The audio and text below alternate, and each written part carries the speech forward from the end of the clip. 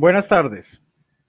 Wildlife Friendly Enterprise Network, el proyecto de conservación de aguas y tierras PROCAT, el sello Jaguar Friendly, la finca ecoturística La Pradera, Caminantres y Jaguareté Science and Nature les dan la bienvenida a todas las personas que se están uniendo a través de nuestra transmisión en vivo al primer Simposio Internacional Conservación y Turismo, herramientas para un turismo responsable con los ecosistemas. Esta iniciativa surge a partir de nuestro interés de juntar a la academia, la empresa privada y la pública, las comunidades locales y el público en general en un tema fundamental para el crecimiento de la economía latinoamericana y la conservación de la biodiversidad, el turismo. Tenemos un equipo comprometido con la conservación que trabaja en esta ocasión para entregar un producto de altísima calidad a todos ustedes. Como cabeza del comité organizador del evento, les expreso nuestro orgullo por contar con tan magníficas personas en nuestra labor. Gina Gómez Junco, Leonardo Lemus, Nancy Flechas, Ángela Hurtado Moreno y Camilo Paredes. Gracias por su compromiso con el evento. No podría dejar de mencionar a José González Maya y a Diego Zarratecharri por el inmenso apoyo a la organización y por supuesto a Gustavo y José Manuel de Caminantres, quienes han sido un soporte invaluable para el evento. Ayer enfrentamos algunos problemas técnicos que por fortuna ya fueron superados. Por tal motivo, la charla emitida ayer no será tenida en cuenta para la certificación de quienes no pudieron asistir. Les será enviada la grabación junto al certificado y las memorias de este evento. A Julie Stein y Marisa Almand, un saludo desde aquí de agradecimiento muy profundo por su increíble trabajo. Hemos recibido cientos de solicitudes en el perfil de Facebook. Lamentablemente alcanzamos el límite de contactos establecidos por esta red social. Los invitamos a todas a unirse a nuestra comunidad en la fanpage oficial de Facebook Yaguareté Science and Nature y desde ahí compartir todos nuestros intereses en torno a la conservación de la biodiversidad. El vínculo de ingreso lo vamos a dejar en los comentarios. Coordinando el equipo detrás de cámaras está con nosotros Catalina Moreno Díaz, bióloga marina de la Universidad Jorge Tadeo Lozano. Trabaja actualmente en Procat Colombia como investigadora. Su trabajo ha estado enfocado en el diseño, manejo y desarrollo de proyectos de investigación y conservación con experiencia en diferentes grupos y ecosistemas tropicales. Catalina, es un verdadero orgullo para mí tenerte en nuestro equipo de producción. Hola Edgar, muchas gracias nuevamente por la bienvenida. Gracias a todos por asistir y espero que les guste mucho el día de hoy. Saludos. Muchas gracias. Hoy que se celebra el Día Internacional de la Tierra y que estamos celebrando todos y todas desde nuestras casas, tenemos dos presentaciones que mostrarán la pertinencia de la conservación y de nuestro quehacer como seres humanos. Pero antes de presentar a nuestros ponentes y de dar comienzo a la segunda jornada de nuestro simposio, es un honor para mí presentarles a nuestras moderadoras, quienes nos acompañan desde ayer hasta el próximo domingo 26 de abril, día del cierre del simposio. Gabriela Jaramillo, ingeniera ambiental de la Universidad de los Andes. Tiene estudios complementarios en biodiversidad y ciencias ambientales. Ha trabajado como asistente académica en temas de estrategias ambientales corporativas en la Universidad de los Andes. Hoy día trabaja en el colectivo Juventud de la Tierra, del cual es cofundadora, y desde el que se gestan eventos y acciones colectivas de concientización ambiental. Al igual que en su proyecto personal, The Sustainable Model Project, desde que el que trabaja por la transformación de la industria de la moda desde el campo de modelaje. Gabriela, es un verdadero placer tenerte con nosotros. Bienvenida. Hola Edgar, muchísimas gracias. Gracias por la introducción y también muchas gracias a todas las personas que se van conectando. Y bueno, estoy muy emocionada también de el día de hoy. Ayer aprendí muchísimo y vamos a ver qué vamos a aprender hoy con nuestros grandes expositores. Muchas gracias, Gabriela. Seguramente todos estamos aprendiendo también de ti. Daniela Dueña Santa Fe bióloga de la Universidad del Bosque con estudios complementarios en fundamentos de desarrollo de turismo rural comunitario y sostenible, gestión socioambiental en la industria del gas y manejo de fauna silvestre. Tiene experiencia en liderazgo de semilleros de investigación en fauna silvestre con énfasis en la línea de herpetología, gestión de eventos académicos direccionados a la investigación en fauna silvestre a nivel nacional.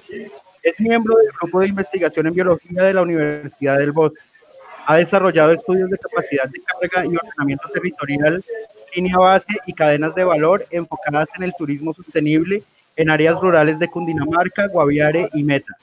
Actualmente está vinculada al programa Ondas MinCiencias como asesora del equipo pedagógico del Departamento del Guaviare. Daniela, muchísimas gracias por estar con nosotros. Es un placer para mí tenerte aquí. Bienvenida. Hola Edgar, un agradecimiento enorme a ti por la invitación a este evento tan bonito y espero que hoy, todos los días que nos quedan, aprendamos muchísimo todos. Muchas gracias. Y siguiendo el formato establecido, tendremos todos los días un invitado especial que acompañará al equipo de moderación con su experiencia y experticia en los temas tratados en cada jornada. Hoy nos acompaña Sergio Escobar Lazo, biólogo de la conservación colombiano de la Universidad de Caldas. Tiene una maestría en conservación y manejo de la vida silvestre de la Universidad Nacional de Costa Rica.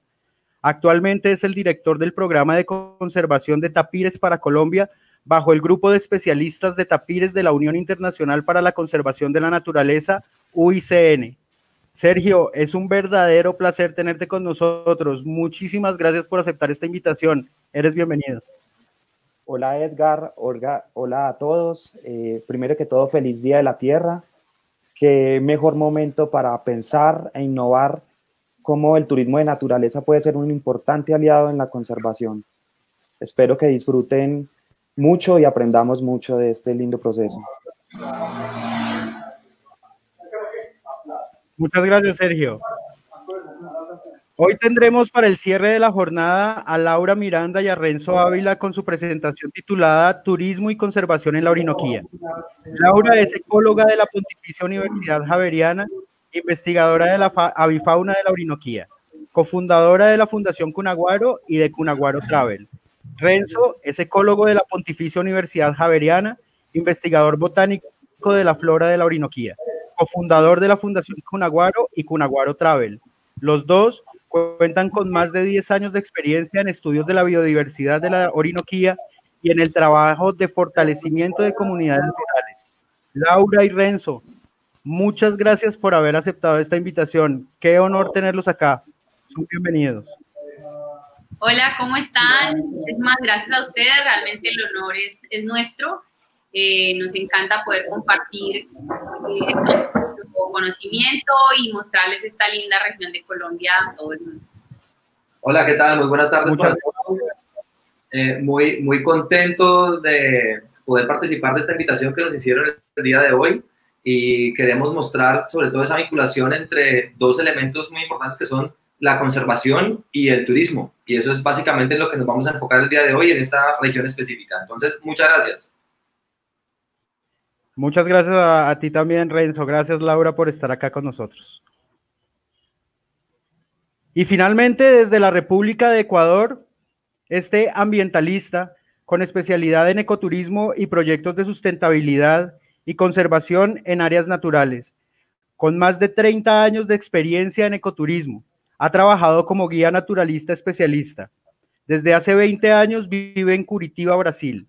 Trabaja actualmente como biólogo de campo en proyectos de levantamiento ambiental, impacto en la inundación o áreas inundadas en la construcción de hidroeléctricas y manejo de sustentabilidad y sostenibilidad en áreas rurales y comunidades indígenas. Su más reciente proyecto, Eco Walking, pretende incentivar a niños y mayores en el aviturismo. Carlos Basabanda Borja, Qué verdadero placer tenerte aquí con nosotros. Desde este momento la audiencia es absolutamente tuya. Edgar y a todos muy buenas tardes. Es un placer estar, eh, tener esta honra, eh, esta, este placer realmente con ustedes. Y sé que tengo algunos amigos que también están siguiendo desde Brasil. Entonces, um verdadeiro prazer, meus amigos, meus caros eh, parceiros. E eu acho que realmente qualquer coisa que vocês quiserem eh, conhecer, depois podemos falar eh, pessoalmente ou via WhatsApp.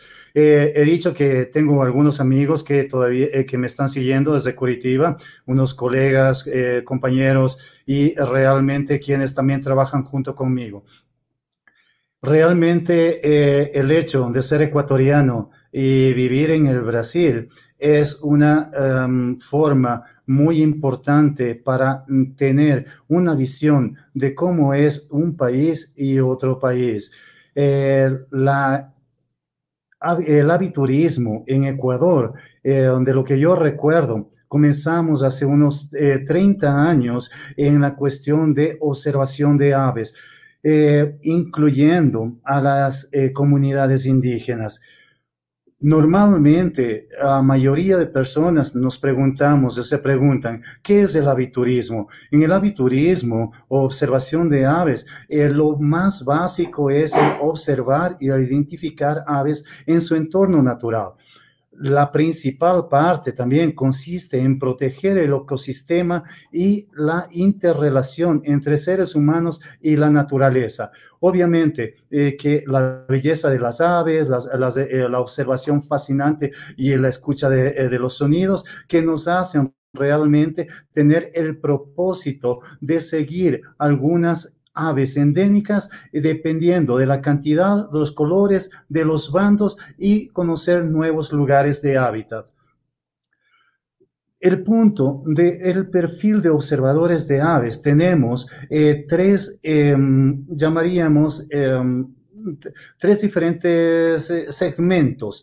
En estos tres eh, diferentes segmentos, nosotros tenemos a los hardcore. Son eh, gente que está realmente obsesionada, extremadamente obsesionada por viajar largas distancias, sea en frío, en calor, en lluvia, para observar una ave endémica.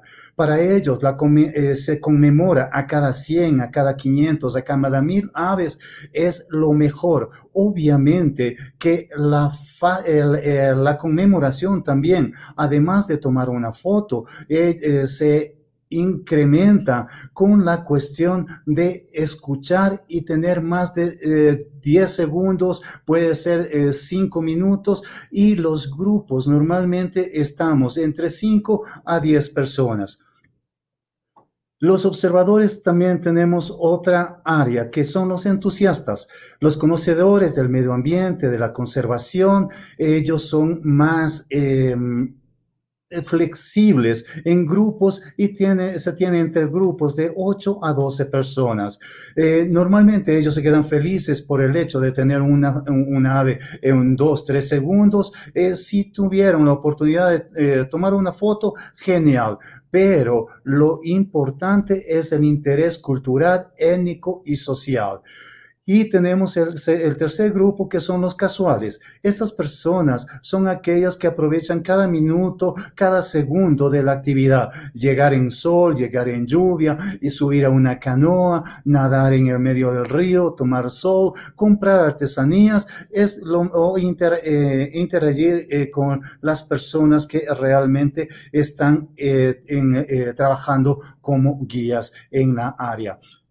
Nosotros normalmente tenemos eh, recomendaciones eh, específicas para la observación de aves. En, las horas tempranas del día y al, eh, y al final del día. Son las mejores, los mejores horarios para observar aves. Nosotros normalmente tenemos la, la actitud de estar en silencio y tener mucha paciencia.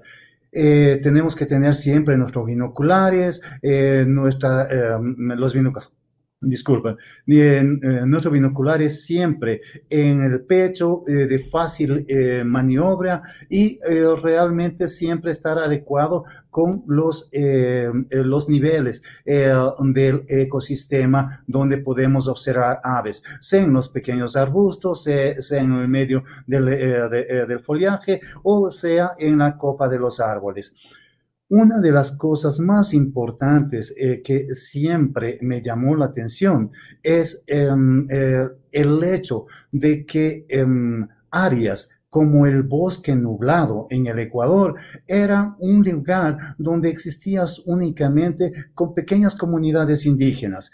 Este es un gran ejemplo que quiero demostrarles a ustedes cómo eh, Mitch de San Isidro fue hace 25 años un eh, visionario él observó que en el lado occidental del Ecuador existían muchas aves eh, desde los 3.500 metros hacia el lado derecho, eh, que eh, sería nuestra Amazonía ecuatoriana, con 250 metros de, sobre el nivel del mar.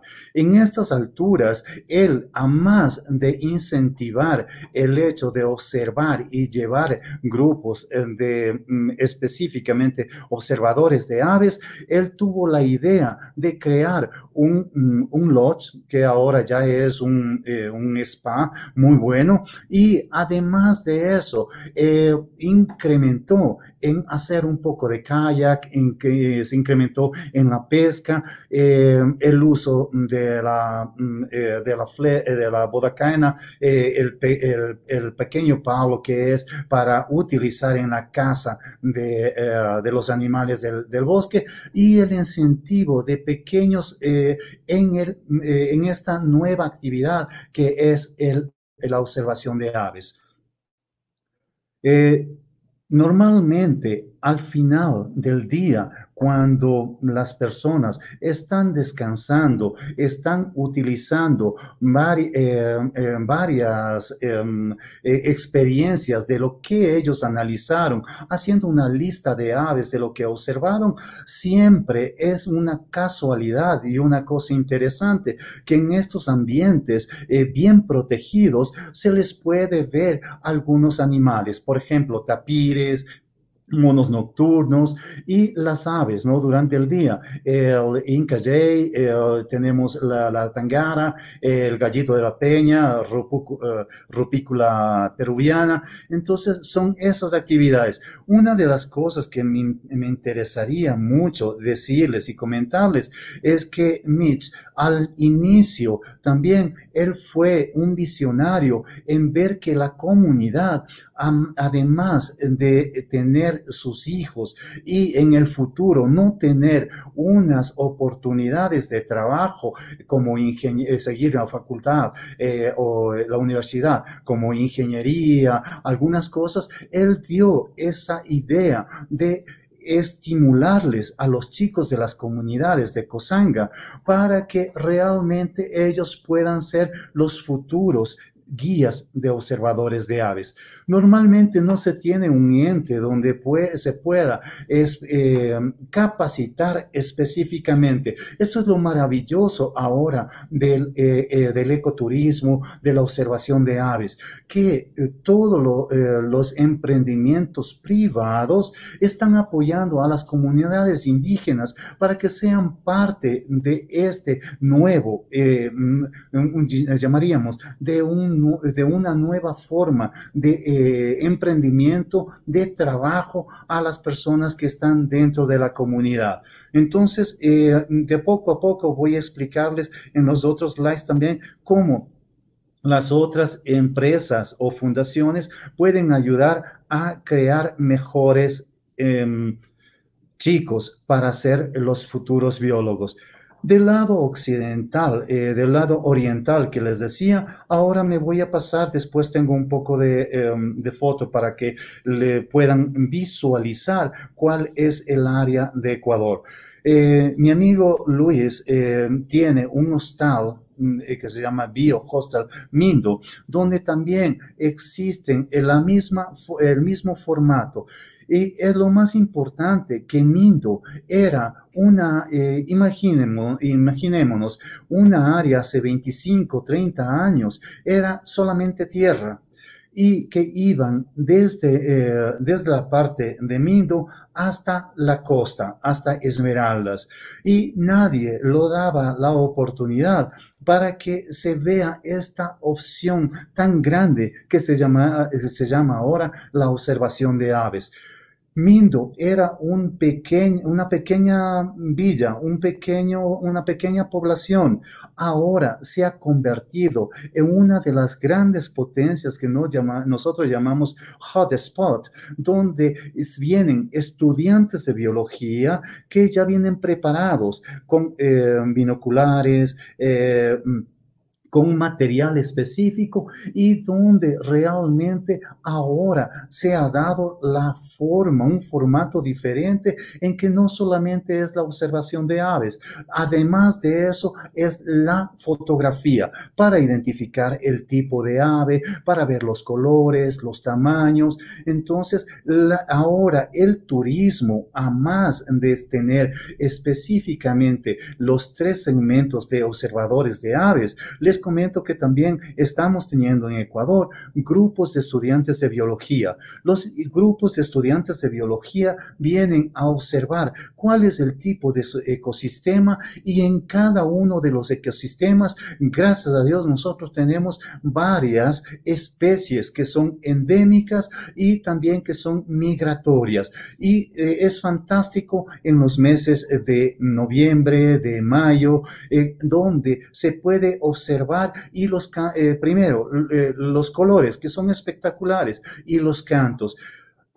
Yo eh, incentivaría y ratificaría que para que estos chicos que están aquí, imagínense, los líderes, los guías locales son chicos que son de la comunidad de Mindo. En esta comunidad de Mindo, que se ha convertido en un gran atractivo de eh, observadores de aves, también se ha podido um, ver que no solamente el hecho de tener observación de aves, sino también un poco de investigación en los, eh, en los insectos, Em, en, las mariposas, en las orquídeas. Y aquí, como yo les mencionaba, miren, nosotros tenemos desde la parte superior hasta la parte baja del litoral. Entonces, esa parte importante donde nosotros hemos, eh, hemos visto cómo el turismo de eh, observación de aves se ha incrementado y que se lo llamaba antes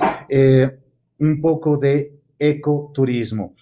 ¿Cuáles son las características eh, de los lugares? Como les había mencionado, tenemos la diversidad de ecosistemas, pueden ser ríos, lagunas, eh, eh, donde las aves se pueden alimentar. Tienen también unas áreas de arcilla para los loros, para los papagayos, algunos se alimentan de flores, de insectos, también el movimiento de, de los primates, de los monos, que suelen eh, mover todas las, eh, las ramas de los árboles, creando eh, que los insectos salgan de las flores o salgan de, las hojas para que los insectos se aprovechen y puedan alimentarse. entonces, tienen unas aves que son específicas para las hormigas, tienen las aves de Sotomobos, que como les había comentado, aves migratorias.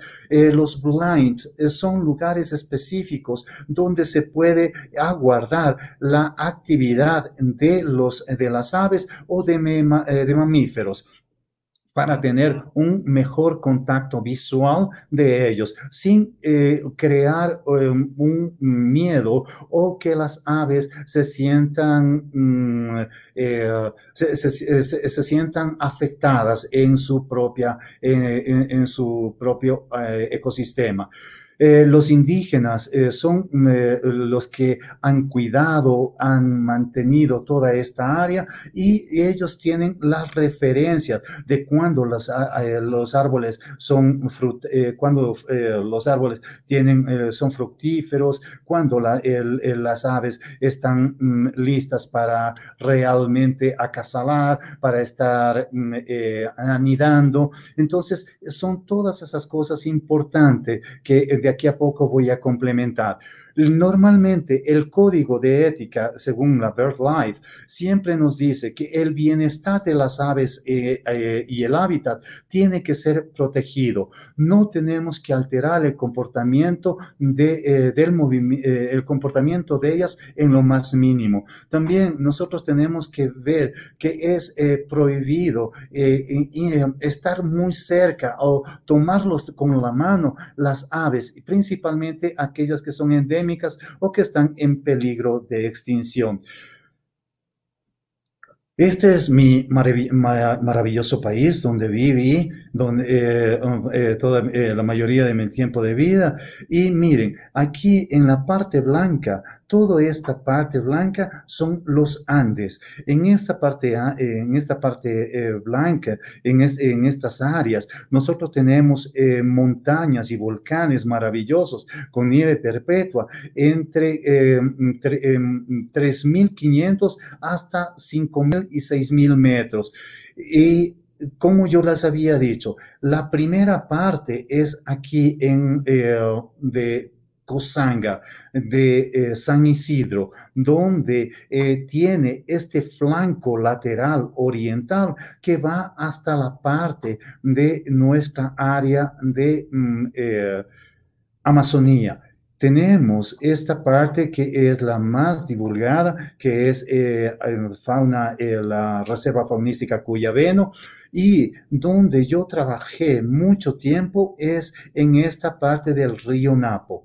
En esta parte del río Napo, nosotros hemos tenido la, he tenido la, grata experiencia de que eh, desde Misaguayí hasta la área de Coca, eh, que se llama eh, mm, eh, San Miguel de Orellana, y también Añangu y es, mm, Sacha Lodge, donde fue mi escuela, donde aprendí toda esta parte de las actividades del aviturismo. En esta parte que les comentaba, entonces miren, tenemos la reserva ecológica de la Antisana, donde nosotros vamos desde la Antisana hasta la parte de la Amazonía una ave más representativa en el antisana, nosotros, eh, o en las, en, los grandes, en las grandes alturas, es el cóndor andino. Y de esta parte, nosotros que podemos observar eh, es eh, Mindo, que está en el lado occidental. Y aquí es un grupo de estudiantes universitarios juntamente con, con gente de la comunidad que va aprendiendo. Uno de mis grandes profesores, uno de mis grandes profesores es Oscar Tapoy. Es un indígena, un indígena quichua que nació en la área del Tiputini y que gracias a Sacha Lodge, él fue uno de los primeros indígenas a ser capacitados. Y miren que él es uno de los eh, grandes eh, hombres que ha trabajado con, eh, ha trabajado con hardcore, con observadores de aves que son extremadamente, extremadamente apasionados, eh, extremadamente eh, locos, llamaríamos, por observar aves. Y son grupos muy pequeños, de tres a seis. Y miren cómo eh, yo, yo le llamo de mi maestro, Oscar Tapuy, quien ya comenzó a intentar influenciar a estos chicos para que realmente ellos sean los nuevos y los futuros observadores de aves. Otra de las empresas, eh, otra, otra de las empresas que realmente eh, están siempre haciendo una, eh, una labor loable es la Fundación Otonga. Esta Fundación Otonga está en el, casi en el centro, eh, a dos eh, horas y cuarenta minutos de Quito, en el lado sentido del eh, Santo Domingo de los Colorados donde realmente él en este bosque nublado ha creado una estación científica. El doctor Honore es un italiano que vino apasionado, eh, vino muy motivado por aprender toda la cultura y hacer muchas investigaciones aquí. Fue profesor de la Universidad Católica del Ecuador, donde lo conocí. Y lo más interesante es que, a más de ser eh, especialista en lepidópteros, él fue una de las personas visionarias que en la comunidad de Ayuriquín, miren, una, eh, dos o tres veces al año, él hace una actividad eh, donde les da bolsa de estudio a estos chicos que no tienen eh, la oportunidad de ir hasta hasta Quito para tener una mejor em, eh, capacitación, una, mejor educación. Y el doctor Honore, mediante todos eh, eh, em, los trabajos que él hace, intenta que varias, varios voluntarios extranjeros ayuden a que estos chicos, uno de estos chicos con las mejores cualidades de cada uno de ellos, puedan ir al exterior y que puedan trabajar como nuevos científicos o como un, nuestro amigo Tapia, que es un gran escultor en Italia. Aquí eh, eh, una de las cosas más importantes eh, que yo siempre voy a resaltar es que como la iniciativa privada y esta fundación ayudaron en este transcurso de 20 años a que todos los, eh, todo, todas las comunidades alrededor se aprovechen y vean la oportunidad de que realmente ellos tengan una grata experiencia en el ecoturismo.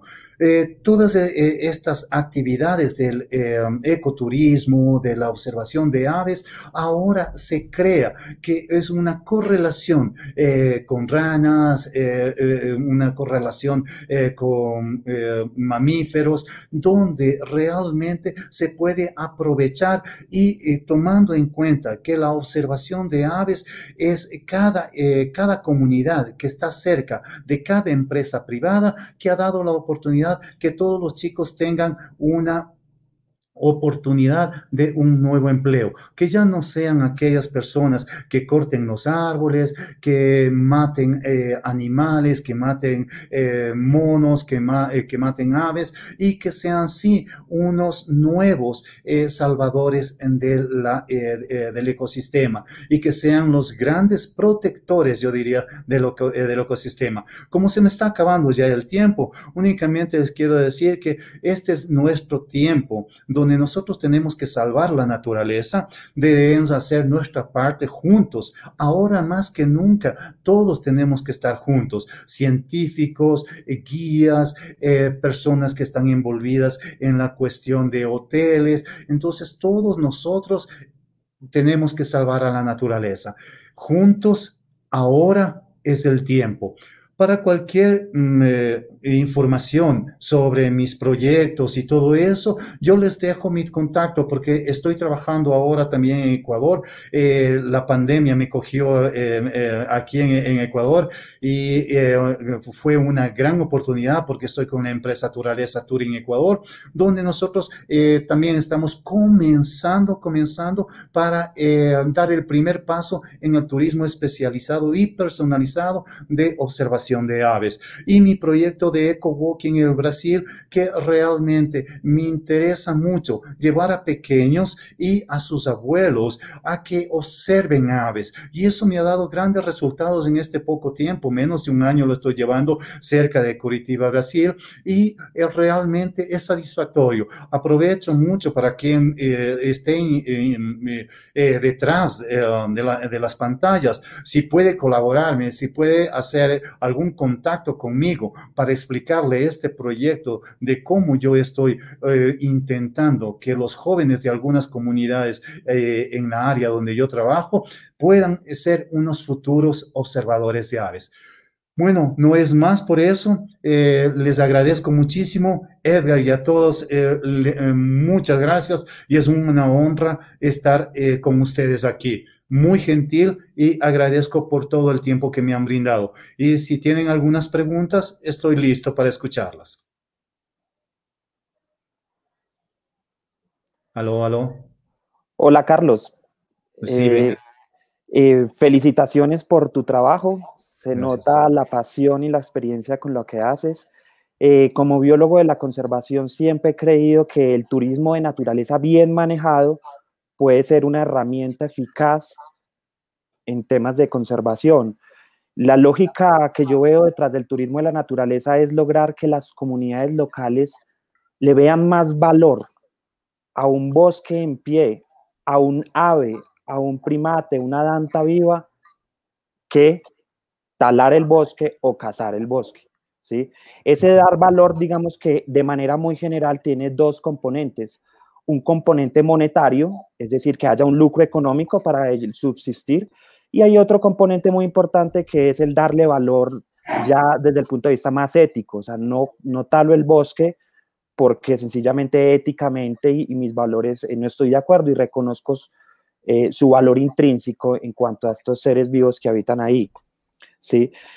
En cuanto a ese tema, me gustaría que usted nos comparta cuáles son los aciertos, los éxitos y cuáles son los errores de su experiencia usted ha podido identificar en cómo el aviturismo eh, en los países donde has trabajado eh, ha tenido impactos negativos o positivos, ¿sí?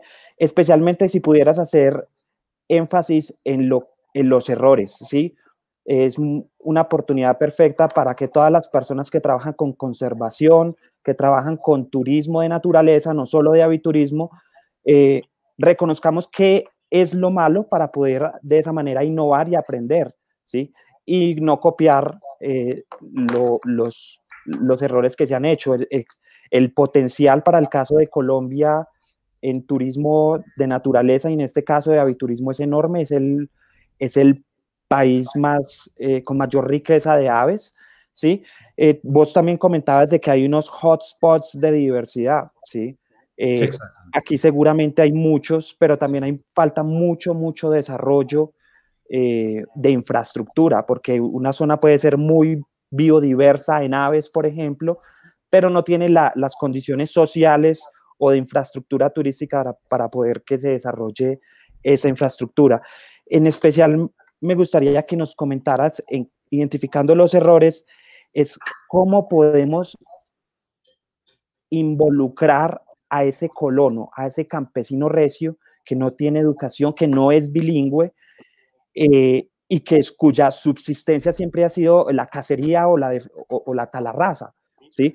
Porque entiendo que la industria del turismo de naturaleza eh, se basa en, el mercado, es en mayor parte extranjeros, las guianzas deben darse en inglés, por lo tanto el staff que los atiende en los ecolodge también tiene que ser bilingüe, ¿sí? Exacto, eh, Entonces, ¿hasta qué punto podemos, cómo llegamos a esas personas eh, que no son bilingües, que su nivel de educación es bajo eh, y que siempre han vivido de, la extracción directa de estos recursos naturales.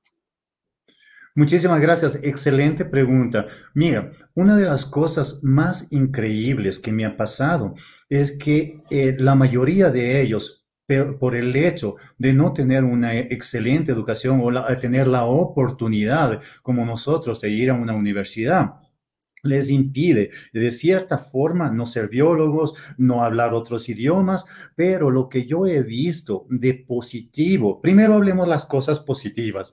Y entonces, lo más importante, yo veo que la, eh, la, empresa privada, en estos puntos, los ecolots, por ejemplo, no vieron el hecho de forzarles, como a mi profesor Oscar Tapui, que no les forzaron a que aprendan un idioma.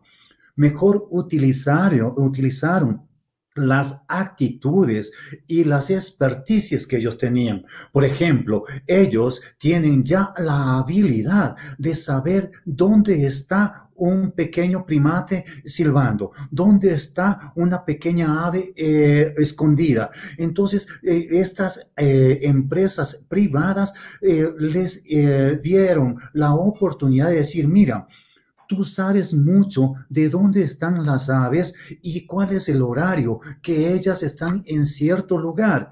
Entonces, al inicio se ha dado esta eh, flexibilidad para no forzarlos a que haya una, eh, una fuga de, de, estas personas. Obviamente que no te, no te digo que del 100% de chicos de estas comunidades han querido estar envolvidos. Obviamente que son pocos, pocos, pero cuando ellos observan a los, a los amigos, que no es necesario hablar alemán, no es necesario hablar inglés y, eh, o cualquier otro idioma, que existen guías calificados quienes hacen la vez de interlocutor, que ellos ganan un dinero extra como una propina y recibir dólares, eso fue lo que les ha motivado algunos para aprender otros idiomas, como mi profesor ahora ya él después de tanto tiempo él está con eh, casi 70 años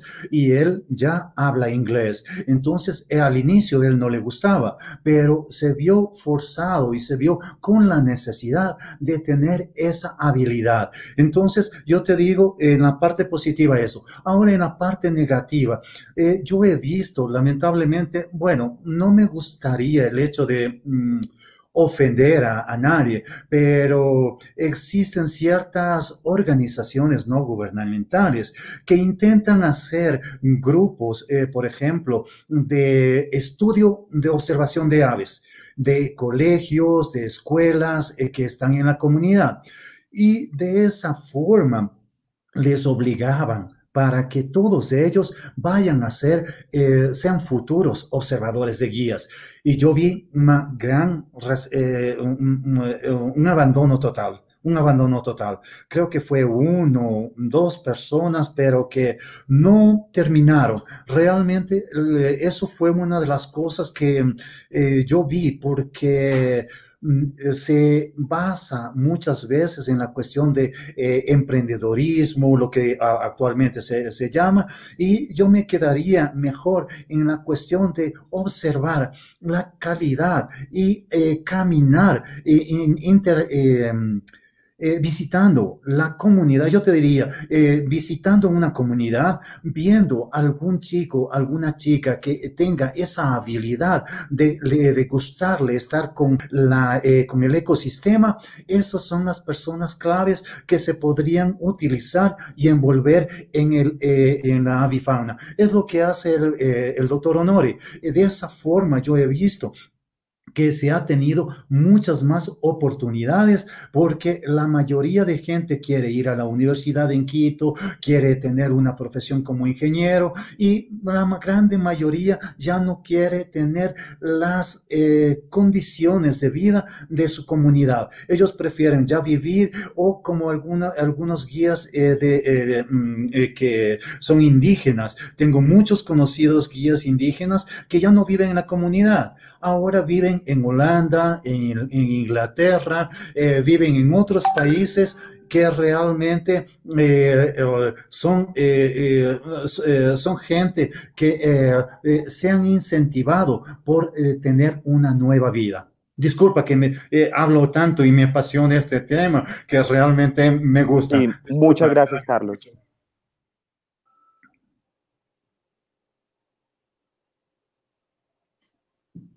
¿Alguna otra pregunta?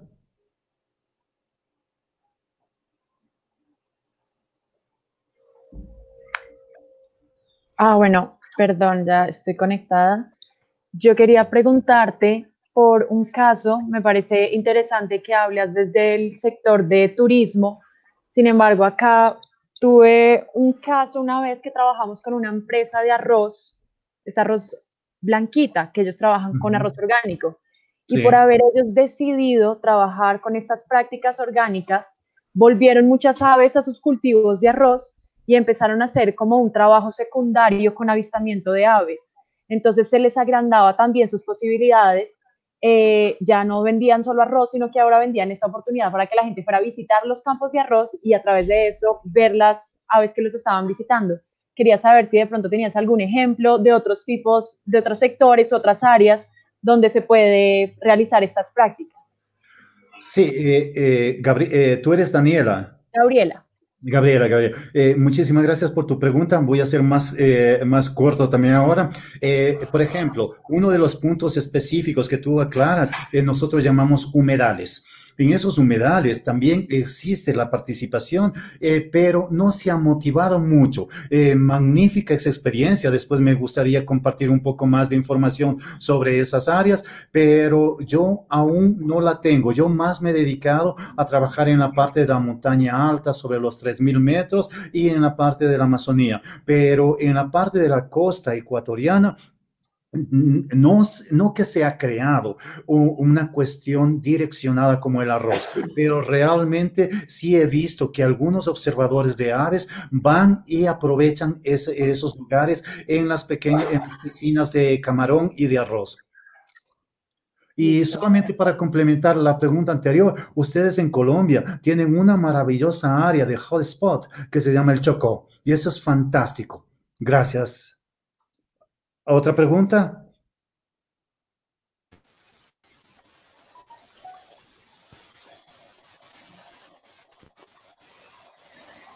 Carlos, muchísimas gracias por toda la información que nos diste. Muy, muy interesante. Eh, pues estaba recogiendo algunas eh, dudas que de, quienes nos están observando y hay una duda muy repetida y que, quieren saber tu opinión eh, a partir de tu experiencia sobre los playbacks qué tan bueno o tan malo en realidad es el uso de los playbacks.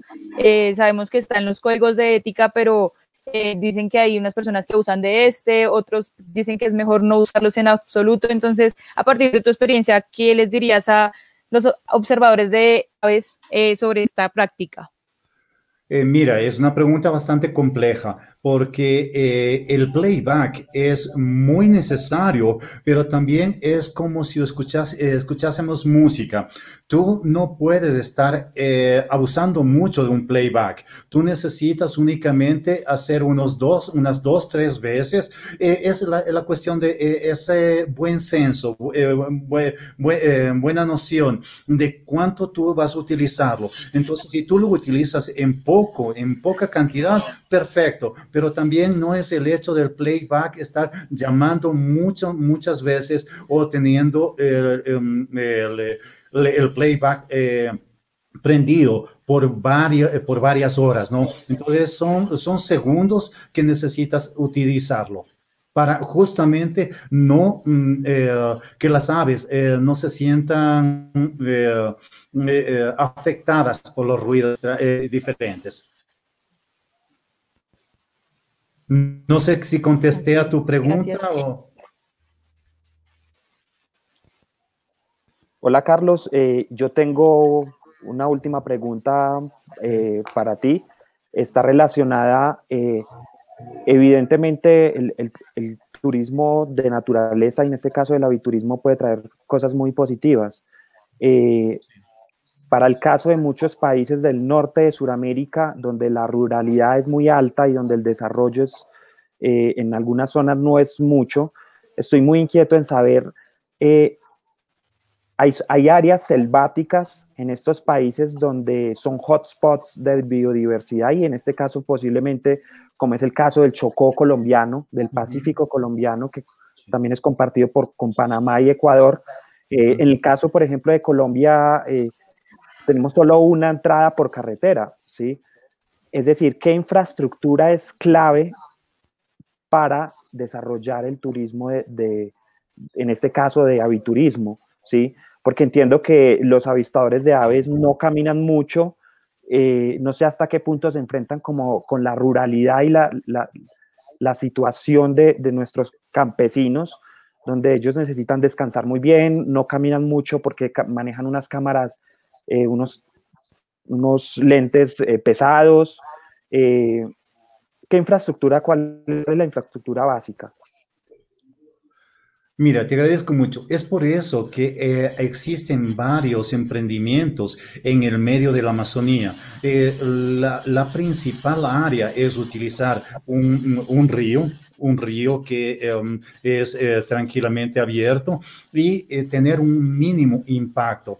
Lo más importante en estos lugares es que el, um, recordemos, recordemos que todas las personas que les gusta el aviturismo, les encanta caminar. Ellos sí les encanta caminar y les gusta levantarse muy temprano. El hecho de llevar el material, muchas veces se lleva un guía asistente en caso sea sean personas de mayor edad que no puedan tener eh, una fuerza necesaria para llevar el, el material. Justamente con la pregunta que tú me haces, mira, el tipo de, material que eh, el guía está llevando y también eh, el telescopio. Entonces, eh, realmente en áreas específicas se tiene que hacer un procedimiento, se tiene que hacer un estudio previo para ver hasta dónde se puede hacer un impacto ambiental en ciertas áreas donde se puede entrar de coche, de carro o también se puede entrar caminando. Entonces, en cuanto menos impacto impacto ambiental eh, en una área eh, de hotspot o de diversidad, es mucho más importante eh, cuidar la naturaleza, proteger nuestra vida. No sé si te respondí a tu pregunta. Sí, sí, perfecto. Carlos, yo te quería preguntar, quería juntar dos preguntas que vi acá, me parecen interesantes es cómo ha sido el proceso de capacitación de jóvenes en la región para ser guías turísticas en este tema de avistamiento de aves y cuál ha sido la estrategia para integrar a las comunidades en los proyectos.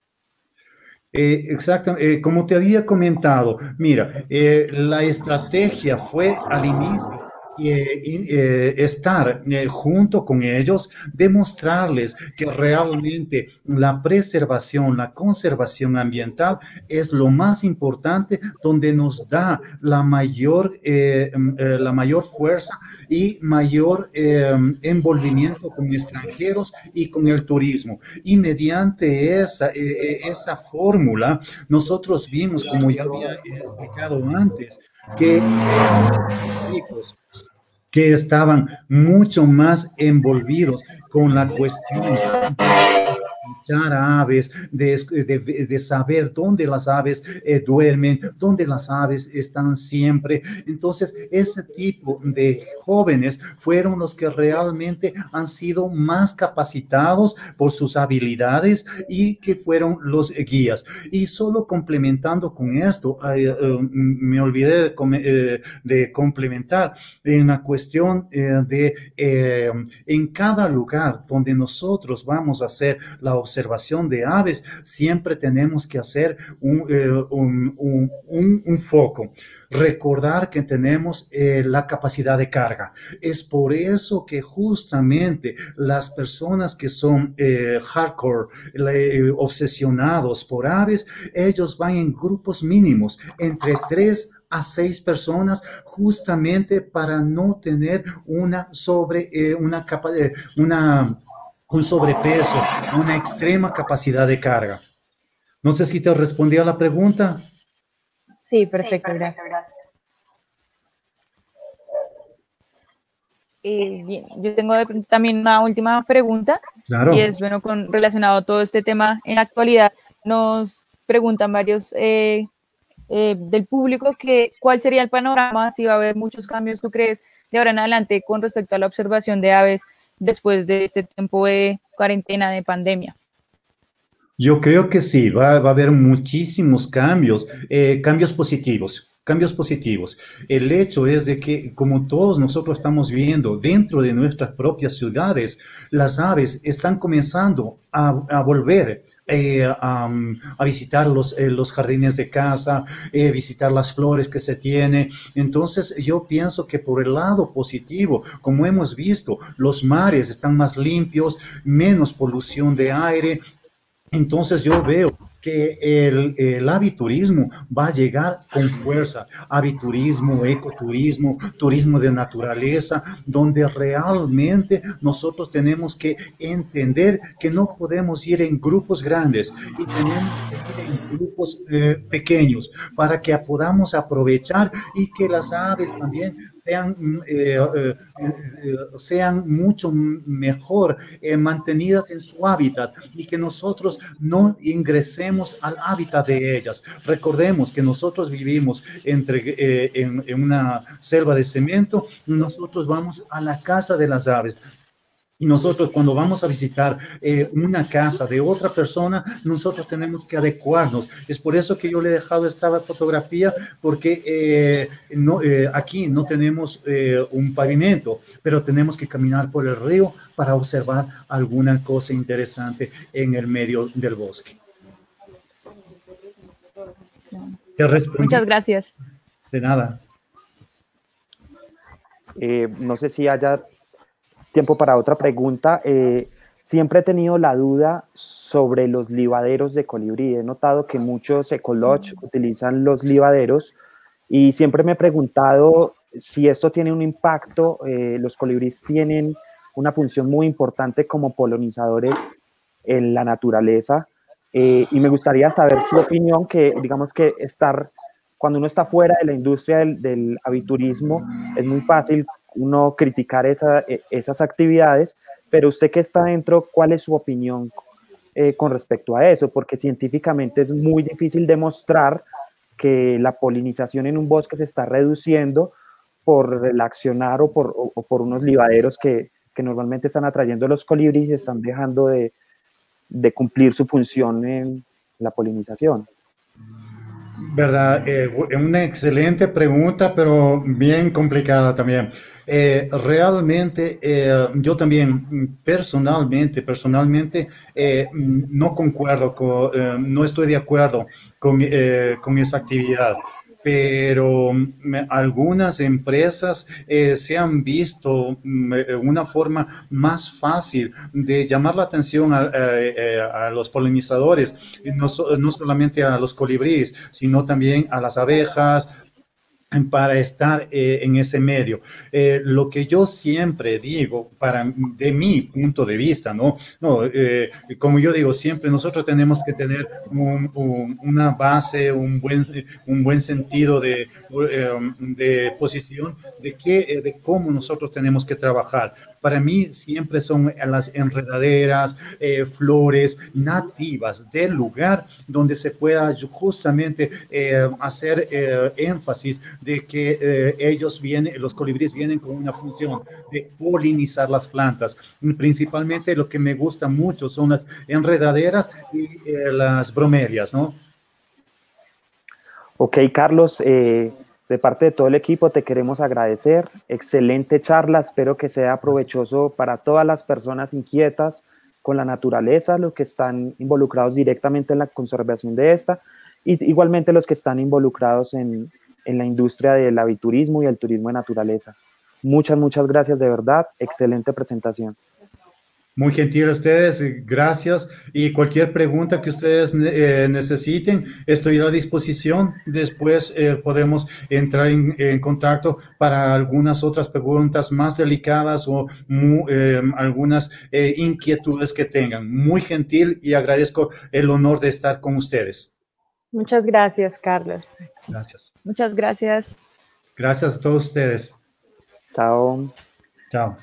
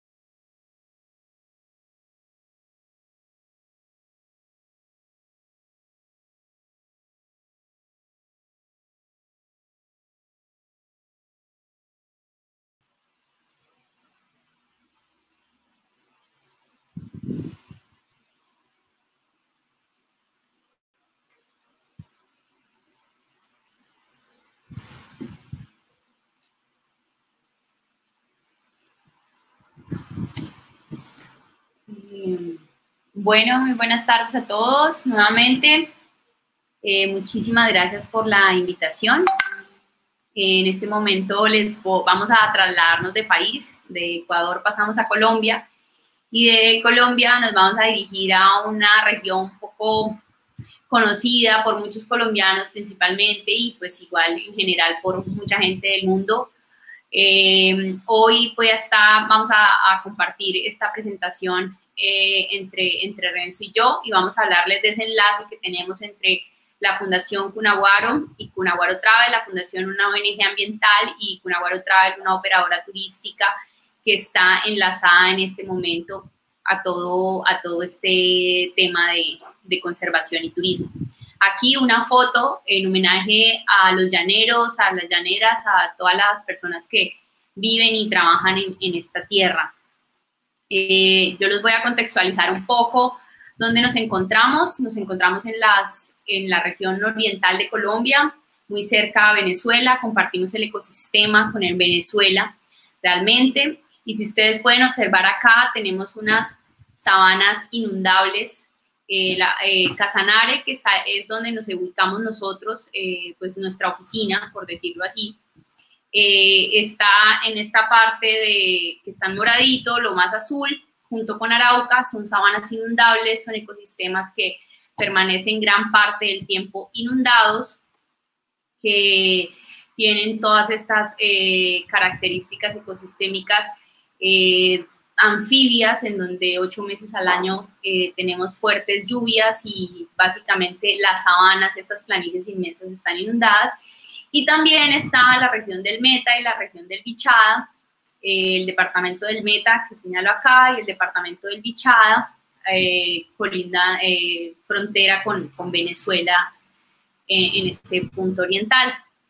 Eh, yo les voy a hablar de un proceso eh, inicial que, hemos desarrollado en la, en la, organización a través de la, de la conservación de, de, toda la región de la Orinoquia y cómo esto lo enlazamos en su momento al turismo, específicamente en el departamento de Casanare. Entonces, básicamente, la conservación es un poco más toda la región de la Orinoquia y en este momento el turismo eh, lo venimos desarrollando es en el departamento de Casanare. Entonces acá una fotico de la inmensidad de nuestra, de nuestra sabana, la inmensidad de, de, lo que es el llano, ¿sí? Somos un ecosistema donde topográficamente es muy plano. En este caso eh, hay unas zonas inundables, otras zonas más altas, pero como pueden ustedes observar, esto es eh, básicamente un horizonte plano, eh, en su mayoría son sabanas y estas sabanas son naturales, son sabanas, son, no son potreros, no ha sido que la gente ha tumbado para convertirlo en sabanas, sino realmente son sabanas naturales. Y aquí pues es una, una, bella, una bella imagen de, de todo el, proceso de, de de todo el paisaje eh, de ese horizonte mágico que es el, los llanos. Precisamente nosotros eh, estuvimos estudiando en la universidad, yo soy de acá del llano, Renzo es bogotano, eh, yo retorné, retorné, acá a mi tierra y Renzo se vino conmigo a trabajar acá en, en, la región y precisamente hace más ya de 10 años que, que estamos trabajando acá en la zona, pues llegamos en un momento también donde pues empezamos a ver estas potencialidades ecosistémicas, pero también empezamos a, visualizar un tema de, gran extracción petrolera. Eh, en ese momento pues estaba el boom de la, de la expansión petrolera, estaba todo el tema de, los monocultivos, acá nos llaman la despensa mundial de alimentos, la nueva despensa, al igual que en su momento llamaron al cerrado brasilero, ahora digamos es esta zona de, de Colombia. Entonces empiezan todos estos factores como grandes cultivos de palma, arroz, petróleo.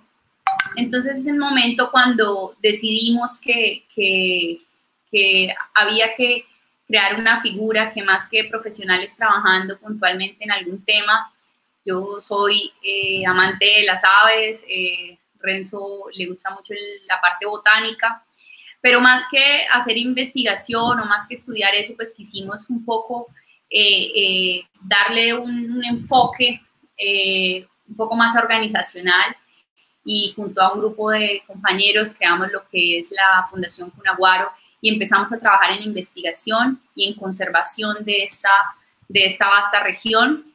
Y precisamente empezamos a recorrerla. Tal vez en mi época de adolescencia no pude recorrerla mucho por todos los temas de violencia que se generaban. Esta también ha sido una zona afectada bastante por la violencia que ha ocurrido en este país. Pero pues digamos que todos estos procesos que han mejorado las condiciones eh, de, conflicto en nuestro país nos ha permitido descubrir nuevos lugares y empezamos a, mostrar precisamente estos, estos hermosos lugares, a, conocerlos primero que todo, eh, a darnos cuenta que, tenían una riqueza impresionante, que además eran bastante particulares en, su comportamiento, en todo lo relacionado con, con, todo esto de, biodiversidad. Entonces, eh, fue como la oportunidad para empezar a pensar en conservación, empezar a pensar en que mm, además de estudiarlos, íbamos a, crear estrategias para conservarlo. Y eh, una de las cosas eh, en su momento, que acá pues es una región prácticamente Colombia la divide en sus montañas y, hacia la parte noroccidental, nor, norte de Colombia, eh, digamos que se concentra muchísimo la población, es más conocido, hacia lo que es la Orinoquia y la Amazonia no, y acá pues la densidad poblacional es muy baja, los estudios eran muy bajos en su momento, teníamos las referencias eran venezolanas, entonces todos este, este tipo de situaciones llegamos en un momento clave para investigarla, para diseñar estrategias, pero no teníamos como unas herramientas claras para, para direccionar ese camino.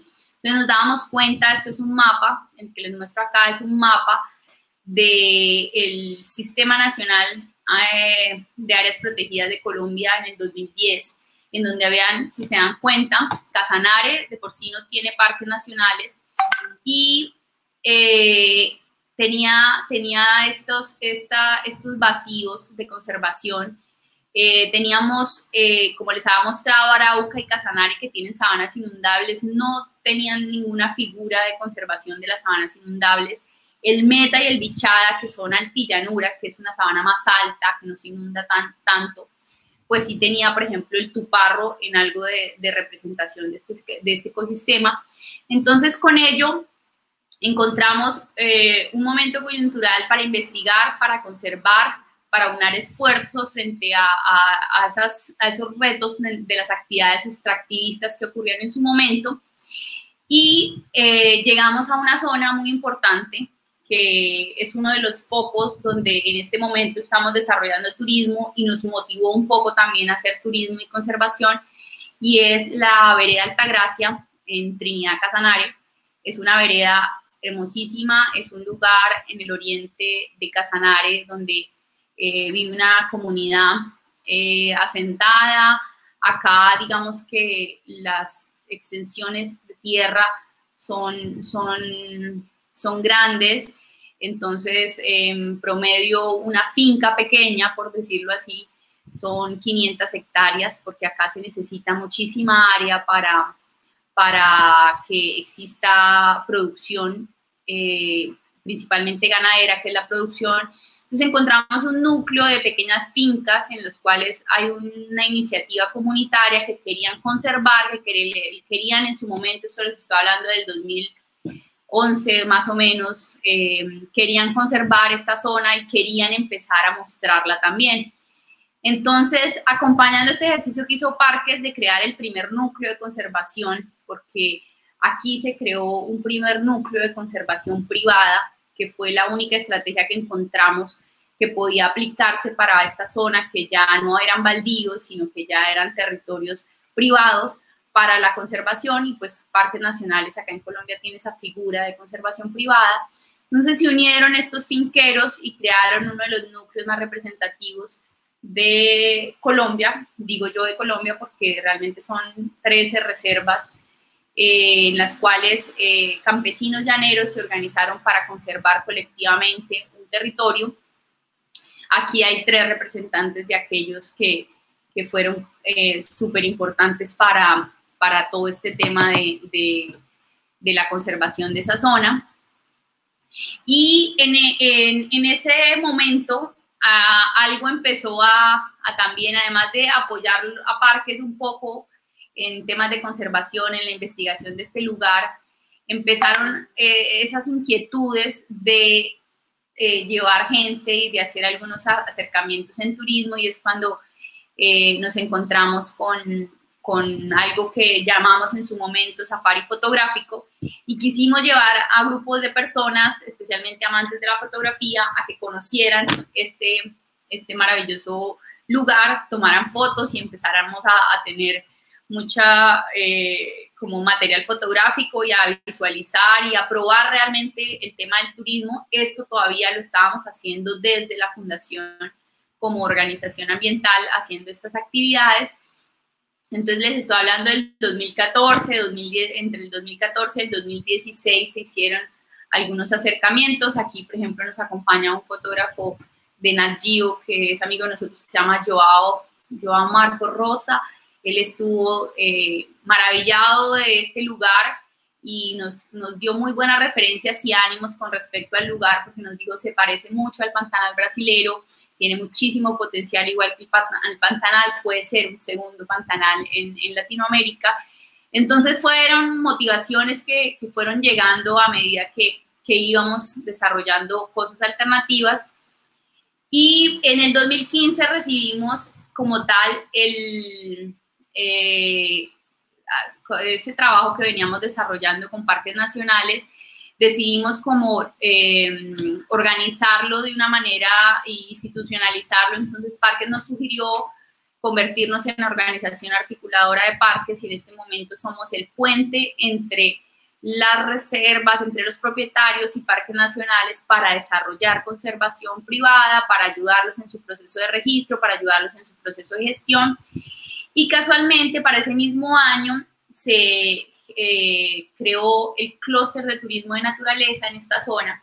Entonces encontramos una sinergia importante, el clúster liderado por la Cámara de Comercio de acá de Casanare, y entonces encontramos una sinergia importante para apoyar a las reservas en el tema de eh, conservación y de turismo y de darles un incentivo económico porque realmente eh, las reservas en Colombia no tienen ningún tipo de incentivos económicos a la conservación y vimos en el turismo una posibilidad ya que habían algunas reservas interesadas. Sin embargo, no todas las reservas estaban interesadas en ese tema y eh, eso era una de las, de, las, de las cosas que íbamos como aprendiendo a filtrar en el proceso.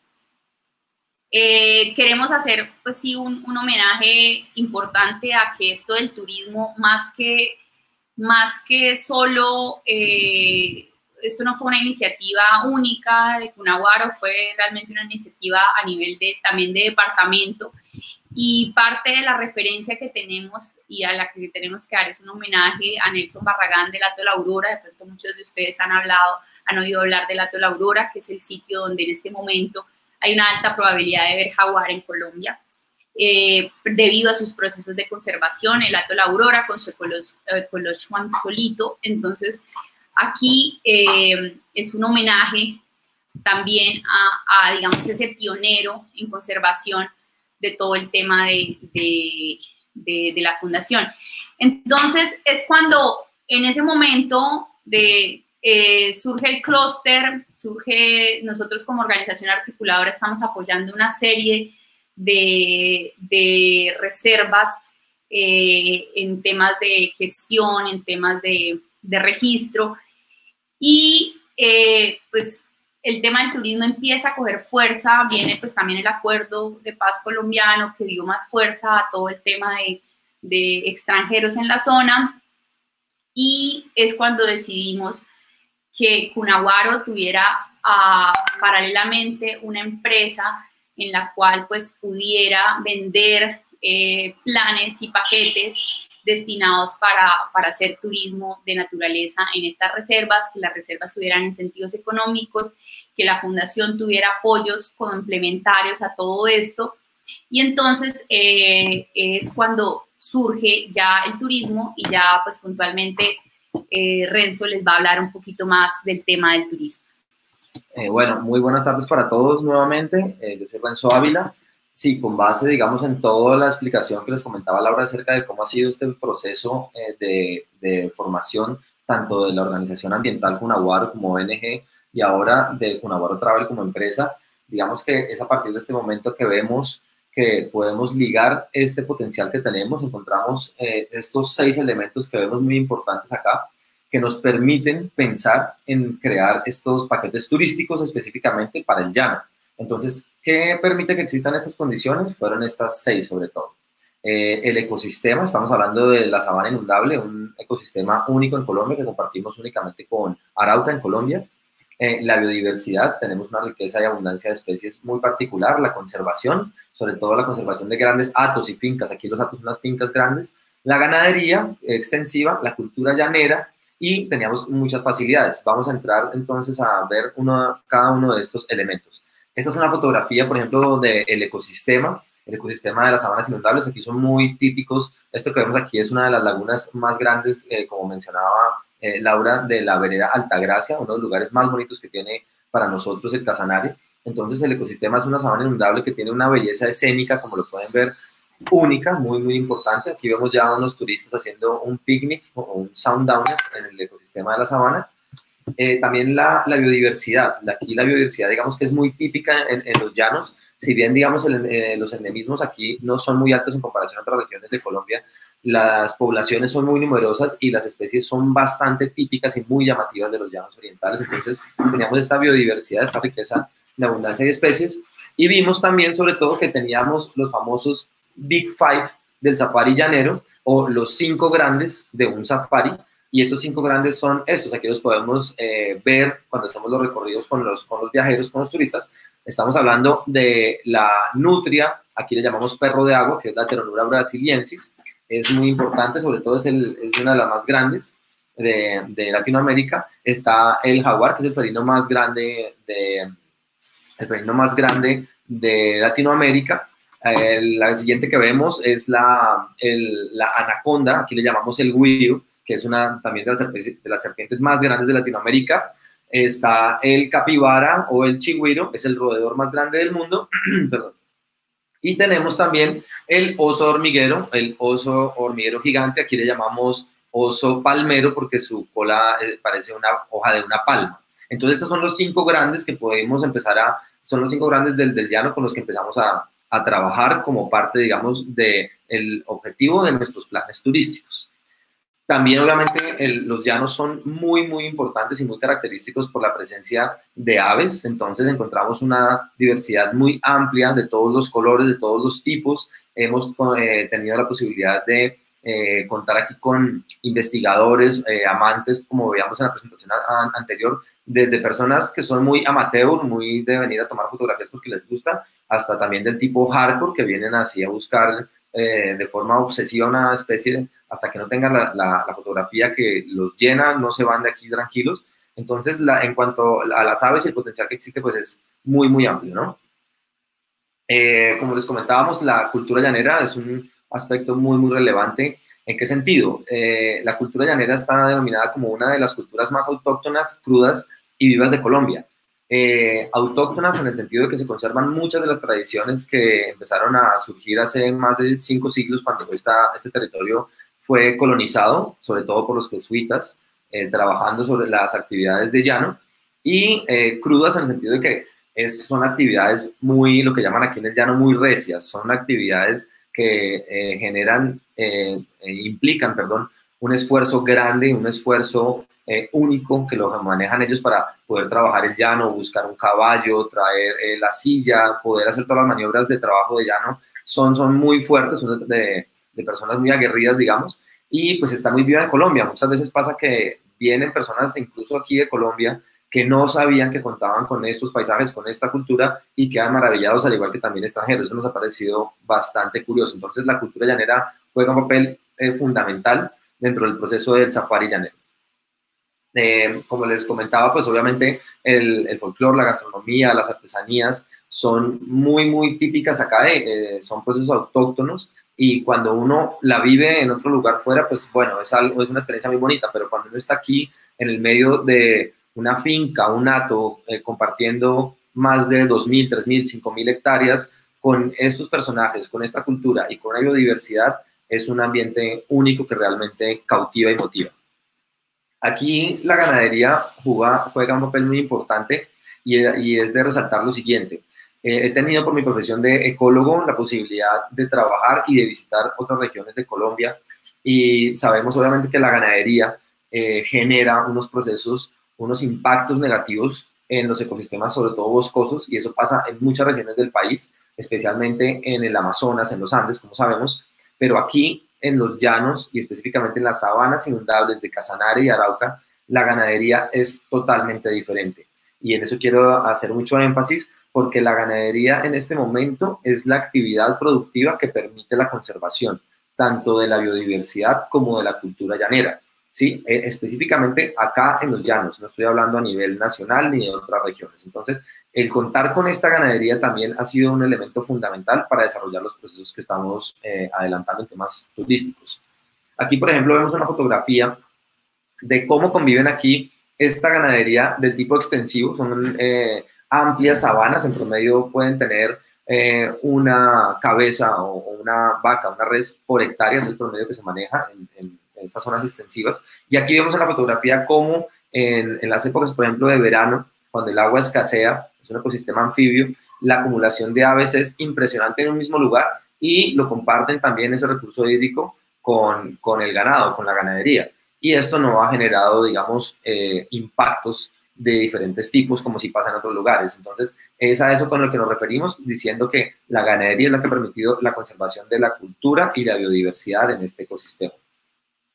Todos estos procesos de conservación, digamos que eh, han sido parte de una cantidad de actores de diferentes niveles internacionales, nacionales y locales. Somos diferentes organizaciones que estamos trabajando en pro de la conservación de este ecosistema tan importante entonces, esos, esos eh, programas de conservación, por ejemplo, en este momento eh, han tenido algunos frutos.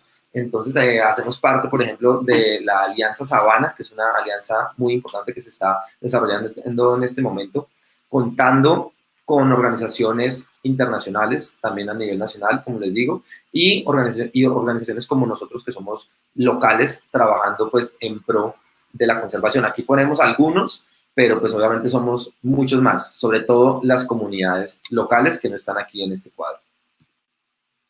Entonces veíamos, por ejemplo, de lo que mostraban anteriormente, que nosotros la, no tenemos aquí una, una representatividad alta en cuanto a las áreas de conservación, pero sí, han, sí hemos venido avanzando. Estaba viendo, por ejemplo, que en las preguntas en Facebook decían que sí, efectivamente existe el Distrito Nacional de Manejo Integrado que desde el Sinaruco, efectivamente así es, por eso ya lo tenemos aquí, es esa mancha verde que podemos ver en este lado, esa es la mancha verde, es, en el 2018 fue esto, es bastante grande. Y las otras manchas que vemos azules, eh, por ejemplo, hacen referencia a un AICA, un área de importancia para la conservación de aves. Son varias que ya se han venido eh, registrando en el departamento. En este momento ya son seis, con más de 70 mil hectáreas de conservación. También tenemos entre esos avances, pero esto ya es en el departamento de Bichada, el río Vita, que es un río protegido, la reserva de la biosfera del Tuparro.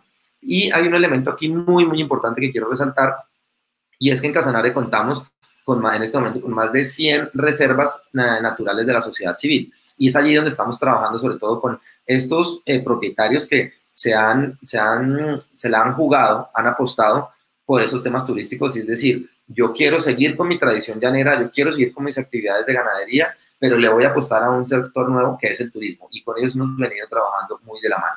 Y también existen otras figuras de, del orden ya regional también de conservación, como por ejemplo estas amarillas que vemos, que hace referencia al Distrito de Manejo Integrado de la URAMA y otro tipo ya de figuras de conservación a nivel regional. Pero es importante ver en este mapa para ver los avances en temas de conservación y de registro de nuevas áreas en las que venimos trabajando, paralelamente entre la Fundación Cunaguaro también y Cunaguaro Travel.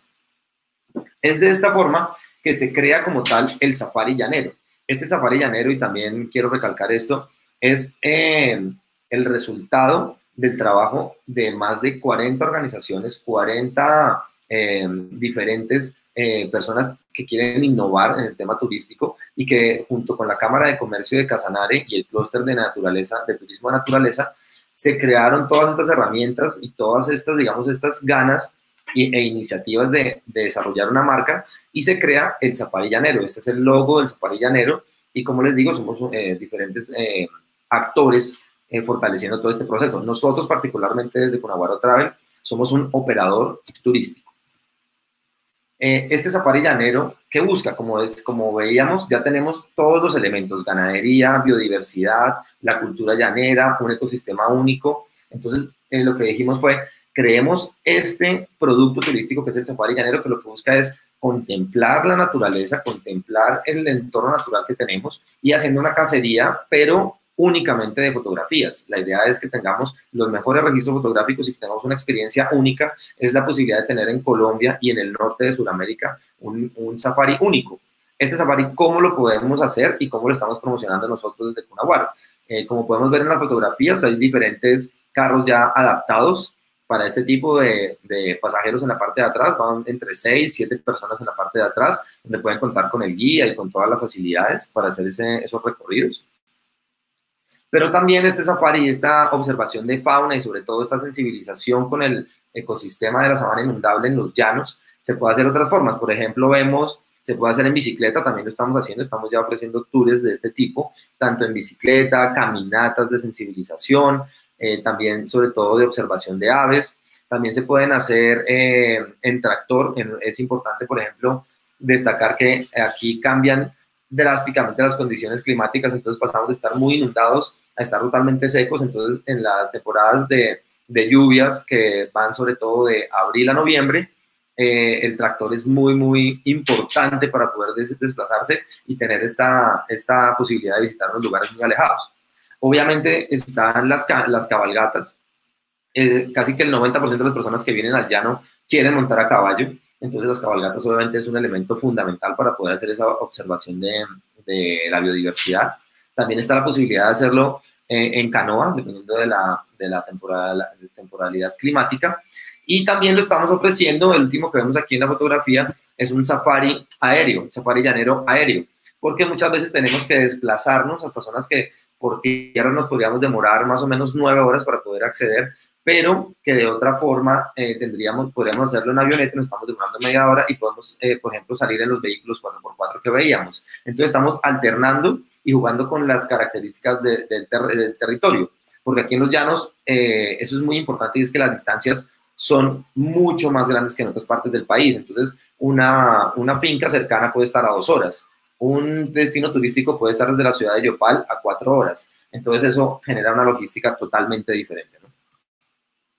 También contamos con estas facilidades. Todas estas facilidades que vemos aquí eh, son por una parte de algunas empresas que son prestadores de servicios turísticos, pero en su mayoría eh, corresponden a propietarios de atos. Atos quiere decir esas fincas de más de 5.000, de 6.000 hectáreas, que son estas eh, fincas tradicionales, estos propietarios, como, como yo decía, se la, han jugado para ir acomodando, modificando, mejorando esas facilidades de sus casas que eran tradicionales para poder recibir visitantes. Entonces, aquí vemos algunas fotografías que van desde cosas básicas en un lugar, en un entorno muy agradable, hasta también tenemos eh, la, posibilidad de ofrecer, por ejemplo, eh, acomodaciones de lujo. Entonces, tenemos una amplia variedad que veníamos desarrollando en ese sentido. Por ejemplo, aquí menciono algunas de las reservas con las que nosotros como operadores turísticos venimos trabajando.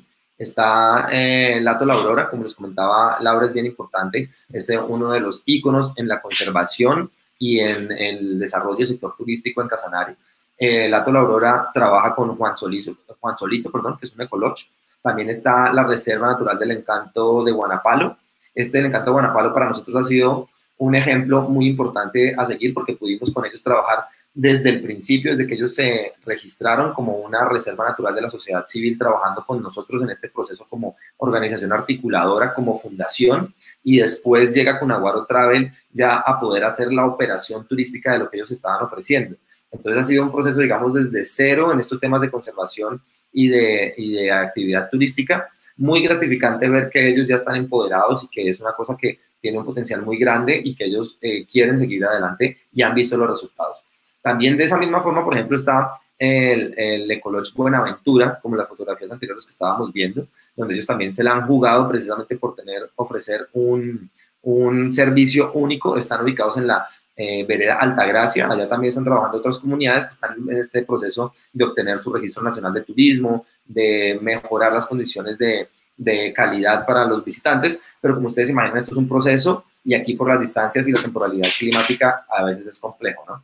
También están asimismo la Reserva Natural Lato El Boral, que también está en San Luis, la Reserva Natural de la Sociedad Civil Ato Berlín, también en Trinidad. Estos son municipios, más o menos, estamos hablando de dos o tres horas desde, desde Yopal, que es la capital de Casanare, o también el Ato Barley, que está en Agua Azul, a una hora de acá. Es alguno, solamente menciono algunos de los principales eh, reservas o prestadores de servicios turísticos con los que venimos trabajando y donde hemos tomado las fotografías que estamos viendo en esta presentación.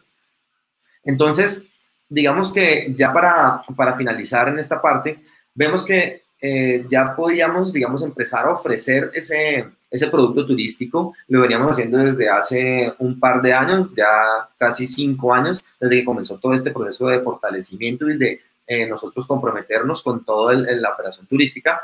Y muy importante, sobre todo, eh, poder comprender que veníamos en, en, todo momento, seguimos trabajando paralelamente con la Fundación Cunaguaro.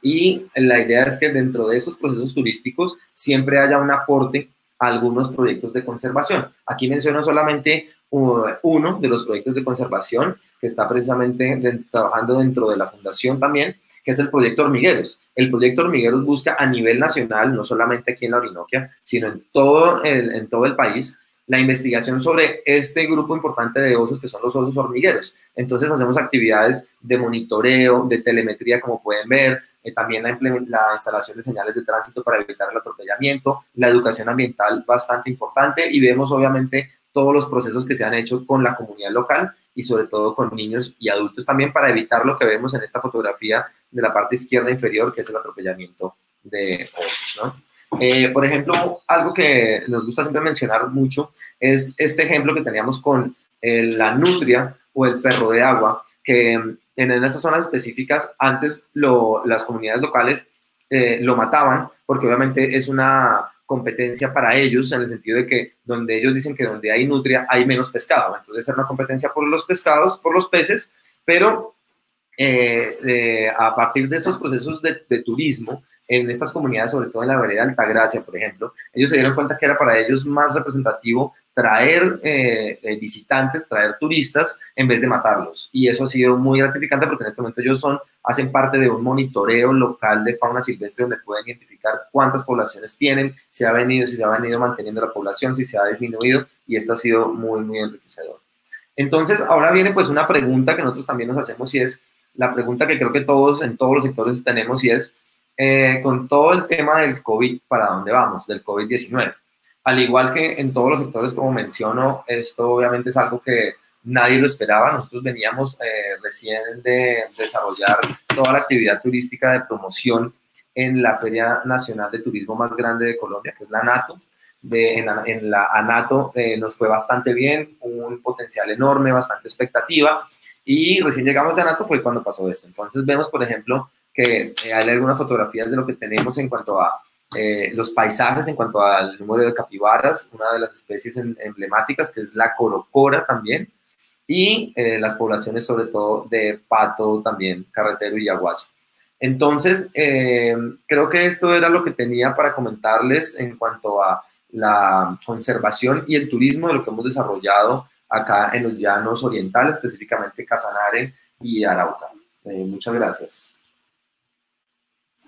Bueno, muchas gracias. Aquí queremos finalizar con esta foto de un jaguar en el Ato La Aurora de Ernesto Bando, que precisamente es una linda muestra de, de, la conservación y cómo ahora el turismo se está enlazando a todo este tema y pues cómo nos estamos preparando y reinventando ahora con todo esto de la nueva era del turismo a partir de la pandemia.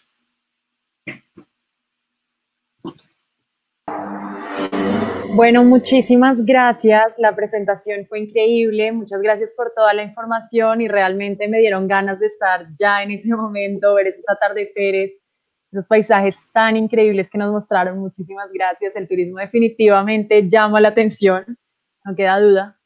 Y bueno, yo les iba a preguntar, eh, al final hablaste un poco de, de, esta unión que hay entre la fundación y la parte de turismo a través del programa de los osos hormigueros, pero quería profundizar un poco más en eso porque ayer hablábamos con, eh, con dos personas de Wildlife Friendly y ellas a través de unos estudios nos decían que realmente habían visto que el impacto del turismo en vida salvaje traía más impactos negativos que positivos. Era, era bien como peligroso meterse en este campo si no se hacía de la manera correcta. Y ellas decían que para esto tocaba tener tres temas claves. La educación eh, de las personas que visitan el espacio y de la comunidad. El control, que no vaya mucha gente, de, disminuir para que no se, eh, no se pase la capacidad de carga y el monitoreo para saber si realmente se están impactando de manera eh, negativa los ecosistemas y en caso tal poder actuar a tiempo. Quería saber eh, si ustedes están de acuerdo con estas tres, si ustedes agregarían una más o qué hacen ustedes para unir esta parte de, de la fundación y del turismo de forma que no se afecten los ecosistemas. Claro, mira, eso, eso que mencionas es muy, muy importante estamos de acuerdo con esas tres. Yo creo que habrían también un par que agregar.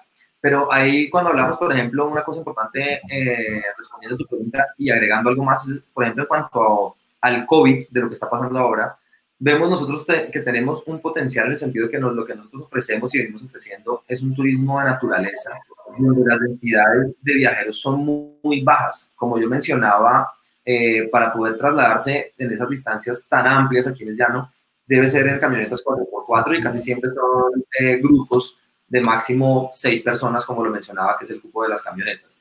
Entonces, nosotros digamos que eh, procuramos mucho no juntar muchos viajeros al tiempo. La densidad aquí es muy baja, hasta ahora sabemos que es, es, un, es un destino turístico que se viene conociendo, entonces digamos que no es un turismo masivo. Y algo muy importante que hay que tener en cuenta es que nosotros siempre lo decimos y es que nosotros somos un equipo formado en ciencias ambientales haciendo turismo. Entonces, por eso siempre como base de todos nuestros procesos está esa conservación de la biodiversidad. Entonces, por eso totalmente de acuerdo con lo que tú dices. Por eso nosotros lo que hacemos es tener eh, las comunidades con las que trabajamos, saben precisamente cómo se debe hacer esa, esa manipulación, por ejemplo, en ese caso del oso, que pudiste ver que hace parte de un proceso de conservación donde se hace telemetría. Entonces, Obviamente todos estos procesos van de la mano desde un punto de vista académico, pero lo que hacemos es que en la medida de que se puedan, algunas cosas de esas se pueden compartir con algún viajero, algún turista que esté, digamos, haciendo parte de la actividad. Pero más no es, digamos, el objetivo único y central. Si ese oso se captura, es para poder ponerle un collar para hacer telemetría que está enmarcado dentro de un proceso de conservación. No es solamente como decir voy a capturarlo porque quiero, me parece bonito y quiero tomarme una foto al lado del oso, que es lo que nosotros evitamos mucho. Entonces, por eso eh, haría énfasis en, en, ese tipo de cosas, ¿no? Como tener un, un trasfondo siempre ambiental. No sé si tú quieres agregar algo. Sí, básicamente todo está enmarcado en un proceso de investigación que desarrollamos y, y hay unas líneas, como decías tú, de comunidad, de investigación pura, de medicina para la conservación. Acá trabajamos con con el veterinario, el director científico de la fundación es veterinario, y todo esto se hace bajo lineamientos académicos. Los turistas pueden tanto venir a donar o simplemente con eh, venir aquí eh, y, hacer un plan con Cunaguar, pues estás apoyando la conservación de un proyecto, así no lo estés viviendo tangencialmente viendo el animal o haciendo una captura, etcétera. Pero sí dentro de un contexto donde vas pasando y ves señales de tránsito eh, que se han puesto para prevenir el atropellamiento, etcétera. Como les explicaba eso. Gracias. Bueno, Laura y Renzo, eh, mis felicitaciones por esta iniciativa que están liderando. Eh, no sé si ustedes son conscientes, pero ustedes tal vez tienen la mejor experiencia para el caso de Colombia de cómo ese, lograr ese matrimonio entre una ONG y turismo. ¿sí? Eh, para mí es claro que el turismo es una fuente importante para la conservación en este caso. Es decir, ustedes están logrando inyectar recursos para la conservación provenientes del turismo y eso me parece algo eh, sumamente importante. En este, cuando viendo la presentación, pensaba mucho en, en, las ONGs y en las personas que tienen proyectos, eh, ya sea personales o a través de una organización de conservación, eh, y pensando mucho en la situación actual del, del COVID. ¿Por qué?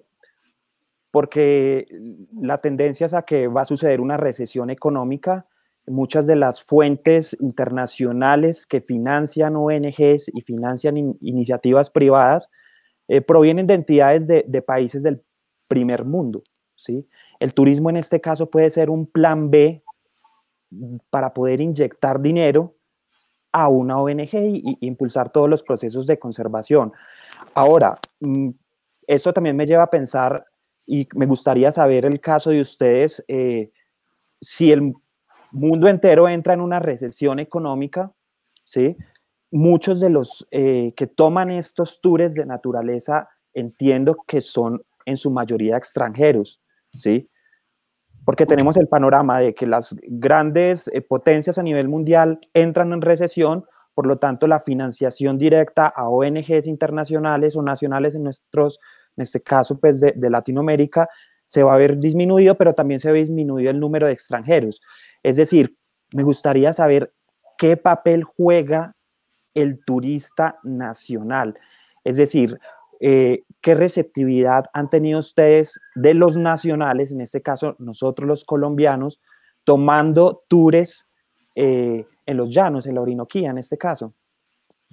Bueno, realmente eh, tenemos también igual muchos turistas nacionales. personalmente soy una de las partidarias de que realmente los colombianos necesitamos conocer nuestros territorios para valorarlos más. Eh, yo creo que eso es una apuesta clave y digamos que el problema ha sido es que viajar al llano de por sí no es, no es eh, barato, es una, es una región con un legado petrolero, eh, las distancias son bastante largas, entonces digamos, el tema del transporte acá eh, sube muchísimo los costos de los planes, pero igual hay posibilidades también más cercanas a, a Y yo creo que también los colombianos debemos empezar a, a pensar en que hay que ahorrar un poquito más y hay que de pronto pagar un poquito más por tener estas experiencias en este tipo de lugares, ¿sí? y igual hay para diferentes opciones, no, no, no todo es de lujo, ni todo, hay diferentes opciones, pero sí, digamos, el tema del transporte es un poco más, más costoso. Entonces, eh, hay algo en particular que muchos de ustedes saben, en Colombia eh, a los nacionales se les cobra el 19% del IVA. Entonces, los extranjeros terminan saliéndoles a veces más económico, además de que están haciendo una tasa de cambio, están ganando ahí de por sí eh, muchísimo en los planes, también nosotros los colombianos tenemos que pagar un paquete con 19% de IVA. Entonces, obviamente, esto incrementa muchísimo más la posibilidad de viajar internamente en Colombia. Es una de las apuestas eh, importantes que deberíamos en este momento hacer a nivel, a nivel país y es decir, para reactivar un poco esta economía y cómo muchos nacionales empiezan a conocer nuestro territorio antes de que vuelvan otra vez los extranjeros a, digamos que a, normalizar sus viajes, podría ser una gran posibilidad para que los colombianos nos salga muchísimo más económico viajar y conocer estos lugares tan maravillosos, porque sí es importante que los colombianos los conozcamos para que los podamos valorar y entender realmente, porque mucha gente, uno, uno hace estas explicaciones, habla por ejemplo de la ganadería, etcétera, y la gente no entiende desde, desde una mirada externa, sino realmente tiene que venir a vivir lo que estamos desarrollando acá. Pero la apuesta sí tiene que ser a que, a que los colombianos conozcan más. Estamos también en una estrategia con todos los prestadores de qué manera bajamos todos más precios para incentivar la economía ahorita después de la pandemia, pero pues obviamente estamos en, esos, en esa incertidumbre viendo cómo, cómo manejamos la situación de aquí en adelante. Muchas gracias.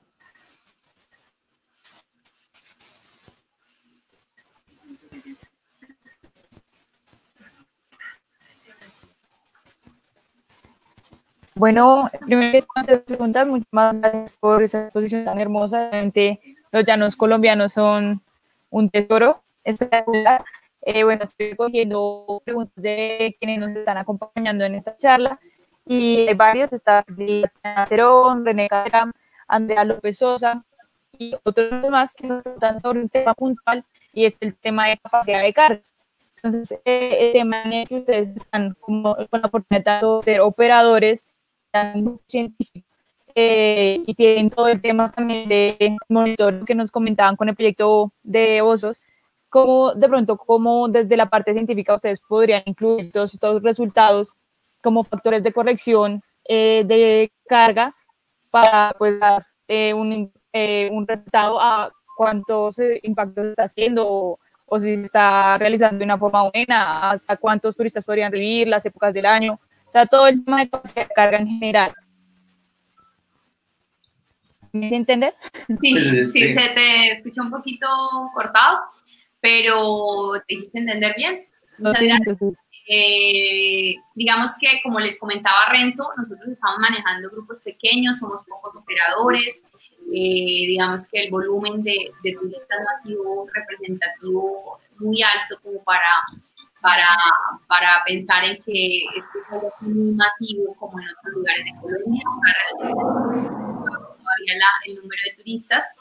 Y tenemos una particularidad, hemos estado investigando y ha sido como más unas pruebas y como investigando en la zona, pero la mayoría de diseños de capacidad de carga están diseñados para bosques, están diseñados para senderos, están diseñados para espacios más reducidos, y acá estamos hablando de sabanas inmensas, de grandes manadas, entonces digamos que eh, estamos como tratando de investigar, eh, es parte también de los ejercicios que desarrollamos, eh, la distancia de acercamiento.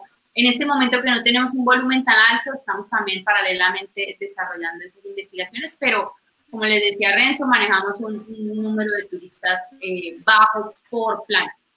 Sí, yo quería como complementar algo en cuanto a este tema. Y, y, es que, si digamos que lo que hemos visto es que en los modelos que hemos eh, intentado implementar acá en cuanto a capacidad de carga, eh, las dimensiones aquí son totalmente diferentes. Yo manejo, por ejemplo, la parte de vegetación y si uno, por ejemplo, compara cuántas hectáreas tiene por visitante, pues te va a dar algo, vas a tener eh, casi siempre, por ejemplo, tenemos el, el, ejemplo de las reservas que les comentaba de Guanapalo, tenemos más o menos 10.000 hectáreas y en esas 10.000 hectáreas tenemos eh, al tiempo tres grupos eh, funcionando y cada uno es de cuatro personas. Entonces tenemos 12 hectáreas por 10.000 hectáreas. es algo que, digamos que no, se, no, se va a cuantificar igual a como pasa, por ejemplo, si lo ves en un bosque, en, en los Andes o de pronto en algún hotspot de, turístico en, en, el Amazonas. Entonces, digamos que sí estamos como complementando y sobre todo levantando mucha información sobre todo de la sabana, ¿no? Para poder tener claridad de hasta qué punto se puede, obviamente, manejar ese turismo de forma sostenible, ¿no? Claro. digamos, me, me, parece muy interesante el tema y es precisamente pues, ustedes como grupo científico y operadores que tienen la oportunidad de hacerlo y pues todo el tema de monitoreo que tienen, porque es eh, muy bueno incluir todos esos temas, digamos, no solo como factores de corrección, el tema de de hectáreas, de vegetación, sino también las limitantes biológicas, como de pronto el tema poblacional de las especies, el tema, digamos, de épocas de reproducción. Entonces, que de pronto muy chévere trabajar en esos procesos para hacer modelos que puedan aplicar otros operadores o otros prestadores de servicios que de pronto eh, abarcan un turismo de pronto más grande y no tienen esas medidas en cuenta. Claro, claro. Y, y sobre todo ahí entre esas que mencionas hay otra variable que es súper importante tener en cuenta y es la logística. O sea, la logística en general, el tema de la operación turística aquí en el llano es totalmente diferente. ¿sí? En cuanto a las horas que tienes que eh, contar para moverte de un lugar a otro, eh, los vaquianos, por ejemplo, todavía en cuanto a los guías locales o vaquianos también, dependemos mucho de la disponibilidad a veces de poder tener esa disponibilidad. Claro. En los lugares, sí, tienes, dependiendo de la temporada climática, entonces son la logística que lleva siempre es totalmente diferente y hay que tenerla en cuenta dentro de los modelos, claro que sí. Una invitación, nosotros muchas gracias. Desde, desde la Fundación desarrollamos procesos de pasantías, de investigación de proyectos de tesis en, en áreas, de, pues en diferentes áreas y una de estas es precisamente el tema de, investigación en turismo. Puede haber una posibilidad de que investigadores nos colaboren con este tema. Ok, muchas gracias. A ti, gracias. Tenemos más preguntas. Gabriela, ¿vas? No sé. Hola. Sí, sí, sí. Eh, bueno, yo quería hablar un poco de los incentivos que mencionabas con parques, con, con, la asociación que hicieron con parques, qué tipos de incentivos son y cómo puede, si alguien está interesado, cómo puede acceder a ellos. Realmente no, como les mencionaba, no hay un incentivo claro o fijo a partir de que tú te conviertes en reserva, te registras como reserva de la sociedad civil.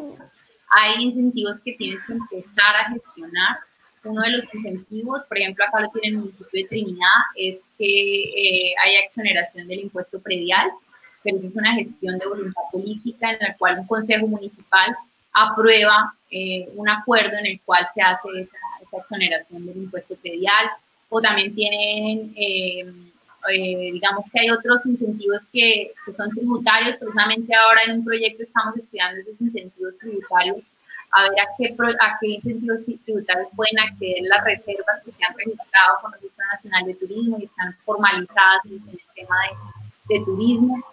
Y, pero básicamente, eh,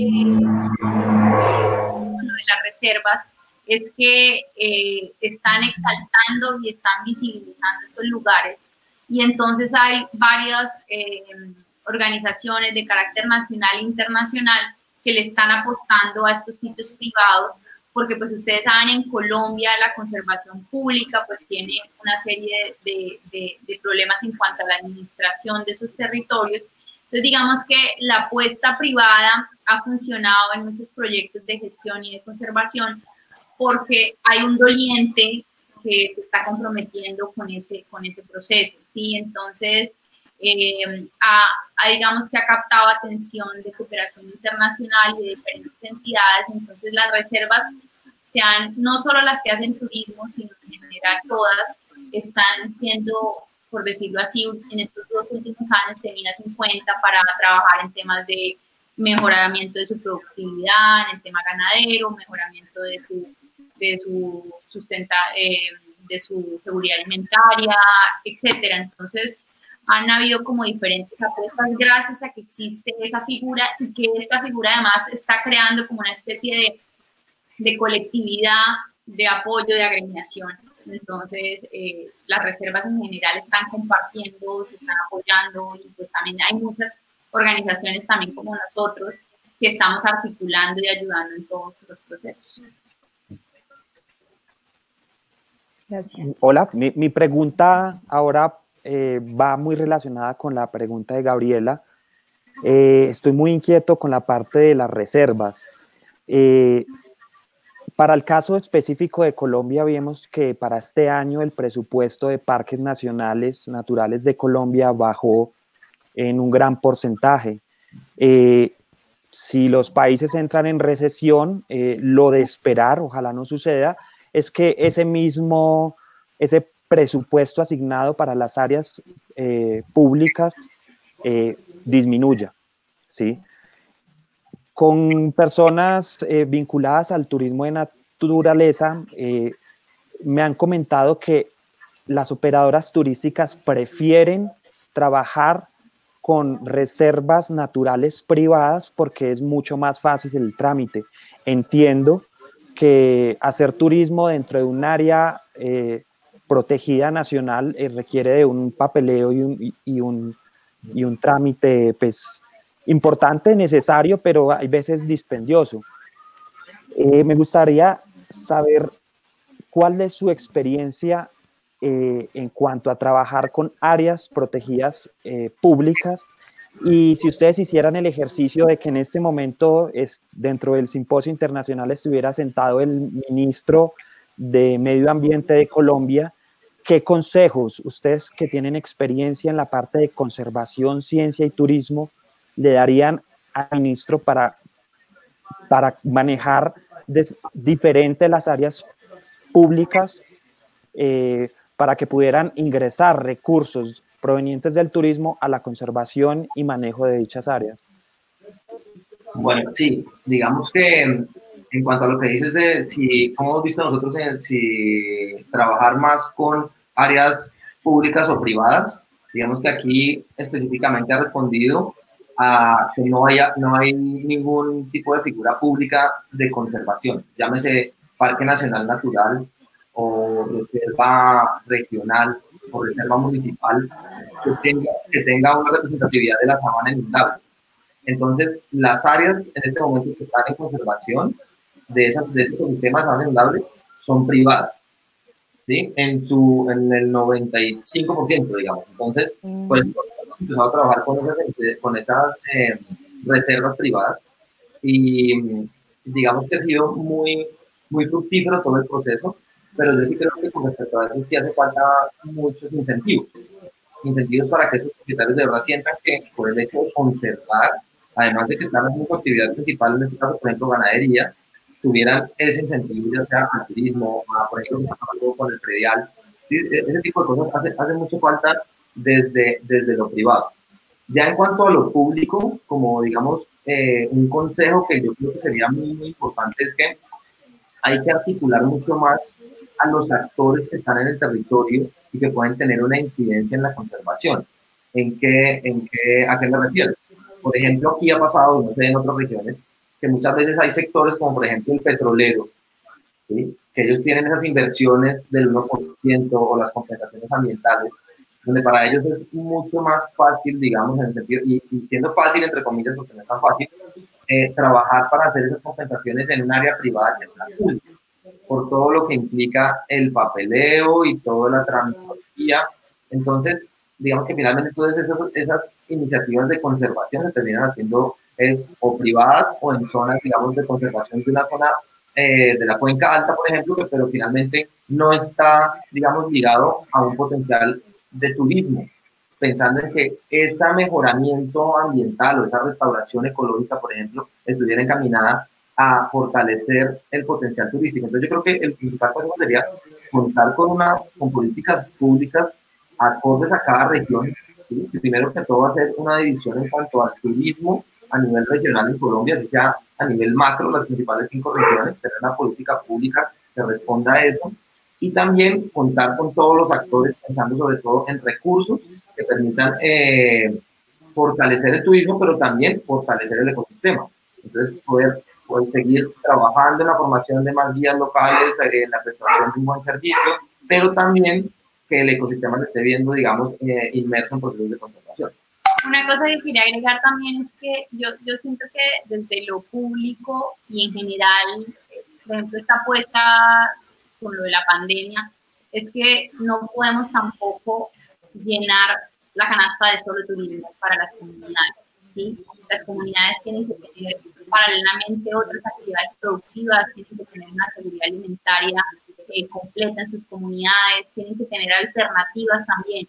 Entonces, eh, si una comunidad se avalancha solo en el turismo, obviamente una situación como esta de una desestabiliza todo este tema. Y otra de las cosas que también quería complementar es que eh, somos partidarios y, y esta, esta situación también lo ha revelado, que los parques nacionales necesitan momentos de descanso momentos en los cuales se, se, se diseñen momentos en, los, en donde no haya donde no haya turistas pero esto no quiere decir que las comunidades queden olvidadas y eso en este momento no haya generación de ingresos, tiene que haber una alternativa en ese momento, pero sí tenemos que darle la posibilidad a la naturaleza, como estamos en este momento dándole, de, de estabilizarse, de, recuperarse, de tomar un aire, algo similar a lo que están haciendo en el Taigona, que se cierran. Eso tiene que ser y las operadoras tenemos que entender que ecológicamente también si queremos mantener un ritmo de naturaleza, tiene que haber un tipo de, de momentos en, en, en, todos estos espacios de, naturales. Pero no puede ser que el turismo sea la única alternativa y no puede ser que en el momento de cierre las comunidades queden maniatadas, sin generación de ingresos, sin, eh, sin ese tipo de cosas, y es porque solo nos volvemos a una actividad positiva. Muchas gracias, excelente visión. Eh, bueno, yo quería hacer otra pregunta eh, y de pronto, eh, eh, sobre el tema de que ustedes trabajan con banqueros que decidieron cómo cambiar su economía y migrar a todo este tema del turismo, ¿qué mensaje o qué recomendaciones de pronto le darían a otros finqueros que de pronto no tienen todavía los recursos, pero que sí están como motivados en entrar en esta nueva economía para ellos, para que arranquen? Porque de pronto, digamos, a veces uno trabajando en algunas zonas son muy alejadas y la gente pues dice, no, pero aquí, ¿quién va a venir? Eh, no, es muy caro, está muy lejos, la gente no llega hasta acá. Pero entonces ustedes en ese trabajo y que ya tienen la experiencia en trabajar con varias personas eh, en diferentes predios, ¿qué consejo le darían para que las personas no se motiven de pronto por la lejanía o porque todavía no tienen los recursos necesarios? ¿Qué consejo como para que arrancaran, para que siguieran? Oye, sí, mira, esa, esa es una muy buena pregunta porque nosotros lo hemos visto acá, por ejemplo, y es que en el tema específicamente Casanare y Arauca, como venía siendo una región petrolera, netamente petrolera, eh, pasó de repente a decir, cuando en el 2014 volvió a caer el, el precio, entonces volvieron a decir, no, entonces ahora eh, vamos a hacer el turismo. Entonces nos enfocamos todos únicamente en el turismo y ahora todos podemos hacer turismo y pues nosotros sí hicimos, como veníamos ya trabajando en temas de conservación y conociendo mucho la cultura y la biodiversidad de la zona, del territorio, si decíamos como, eso no es tan fácil, no es que de repente pues, va a ser lo único que vamos a hacer es de repente turismo. Entonces nos empezó a pasar, nosotros como veníamos haciendo esa operación, nos empezó a pasar que, así como tú nos dices, hay personas que decían, bueno, yo tengo un estero que llamamos aquí como un pequeño lago, donde llegan unas garzas muy bonitas y a veces llega un capibara, un chigüillo, y ya quiero, ya quiero hacer turismo y necesito ya que empecemos a tener eh, ingresos porque todo el mundo está diciendo que ahora el turismo es eso. Entonces hemos sido muy cuidadosos en decir, no, eh, eh, lo importante, y volviendo, digamos, a, lo que tú dices en cuanto a qué consejos, es que hay que ser, digamos, muy realista, ¿sí? Primero conocer el territorio, lo que tienes, por ejemplo, en tu finca, en tu territorio, ¿sí? ¿Qué tienes, qué puedes ofrecer y cómo te vinculas también con otros prestadores de servicios? Porque no puede ser solamente que, y aquí en el llano peor, que tú digas, no, voy a ir tres horas porque hay un, una laguna bonita y tengo que volver a la y voy a montar a caballo. Tiene que haber una conectividad entre todos los prestadores, tiene que haber un, un paquete turístico que respalde eso, pero digamos que lo que yo creo es que eh, nunca, nunca es tarde y hay que soñar, en el sentido de que hemos visto, hemos visto eh, destinos turísticos de personas aquí que no se imaginarían y alguien diría, pero si aquí está lejos, como tú decías, estamos en la mitad literal del llano, el punto más cercano son nueve horas, no creo que la gente venga. Y mira, las fotos que veíamos en la presentación de esos, son esos lugares donde la gente va y va una vez y dice, yo quiero volver y quiero traer a mi familia y quiero traer a mis amigos porque es un lugar único y me encanta. Yo creo que algo que hemos aprendido es que tenemos una oferta muy amplia. Colombia es un país maravilloso y si nomás en esta región vemos la cantidad de abanicos que tenemos en todo el país es así. Entonces yo creo que eh, no puede ser un impedimento que, que, quede muy lejos o que no tengas el dinero. Si tienes las ganas y estás seguro de que lo que quieres hacer es eh, comprometerte con esto, sin dejar a un lado tus actividades productivas, lo puedes hacer. Se puede hacer. Y, y yo creo que acá tenemos una experiencia muy bonita que les decíamos en Altagracia. Ellos empezaron con un cuarto, después hicieron el otro y así. Y es un proceso de siete años, seis años, donde ya tienen un lugar con seis cuartos con privado y hay hacen modificaciones cada año, donaciones. Ellos también hay gente, los mismos turistas le dicen, venga, yo le eh, dono para que usted ponga la luz, yo le dono para que usted instale una nueva batería de baños empieza esa construcción porque están esos ejercicios, tanto a nivel comunitario como en el caso de Altagracia, donde son comunidades rurales más pequeñas que viven en la zona, que sus ingresos no son, no son representativos, como también, eh, pues digamos, en estos datos donde pues, hay posibilidades de familias que sí han podido invertir en todo esta, este mejoramiento. Pero es importante saber que por ejemplo, están también estos datos que han tenido la posibilidad de invertir en, la, infraestructura de hospedaje, pero existe la, también el complemento de un señor que al lado tiene una finca con cacao y va y muestra su producción con cacao, o están los del grupo llanero que están trabajando en la Casa de la Cultura del Pueblo, entonces se presentan en actividades culturales, está la señora que produce el pan de arroz de acá en la zona y que lleva a ver cómo la señora del pan de arroz también se vincula dentro de la cadena. Entonces, uno puede ver que, que no solo es ofrecer hospedaje y no solo es eh, ser prestador de servicios, sino hay un complemento que ahí involucramos muchísimas personas. Bueno, yo tenía otra Muchísimas pregunta. gracias por la respuesta. Antes, quiero decirles que me tienen antojadísima de todo. Me quiero ir ya para allá. Quiero probar ese pan de arroz, ver esos procesos. Suena increíble. Te esperamos. Y quería hacer una pregunta que he visto acá también repetidas veces. Joana Fernández, Joana Benavides, nos preguntan por el pago por servicios ambientales. Quería saber si dentro de sus estrategias se incluyen o cuál es su opinión respecto a este tema. En ese momento tenemos, eh, nos está apoyando eh, USAID con el programa Riqueza Natural. Estamos en la investigación de pagos por servicios ambientales para, para desarrollar en reservas privadas. Eh, digamos que, si ustedes se dan cuenta, en Colombia existen muchísimas leyes y normas plasmadas, pero no se sabe cómo ejecutarlas y lograr esa, ese, ese pago, por decirlo así. Entonces, eh, estamos indagando en los procesos, eh, complementándonos con otras organizaciones, con proyectos que, hay en otros lugares de Colombia, pero es una de las posibilidades que se está evaluando para pagos por servicios ambientales en las reservas, en los sitios privados.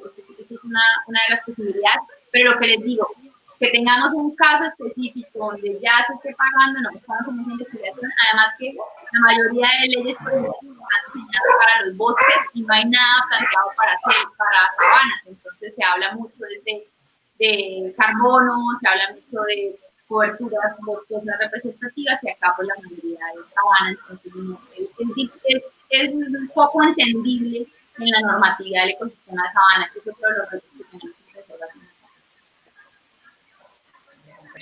Gracias. Bueno, ok, eh, voy con una última pregunta. Eh, ¿Me escuchan? Sí. Ya, qué pena, es, que mi cámara se detuvo. Eh, para Laura y Renzo, eh, muchos de los que estamos aquí viendo la transmisión, eh, tal vez son personas, ciudadanos, directores de ONG, activistas ambientales. Hemos querido impulsar eh, iniciativas de conservación y el turismo es una posible fuente de financiación ¿sí?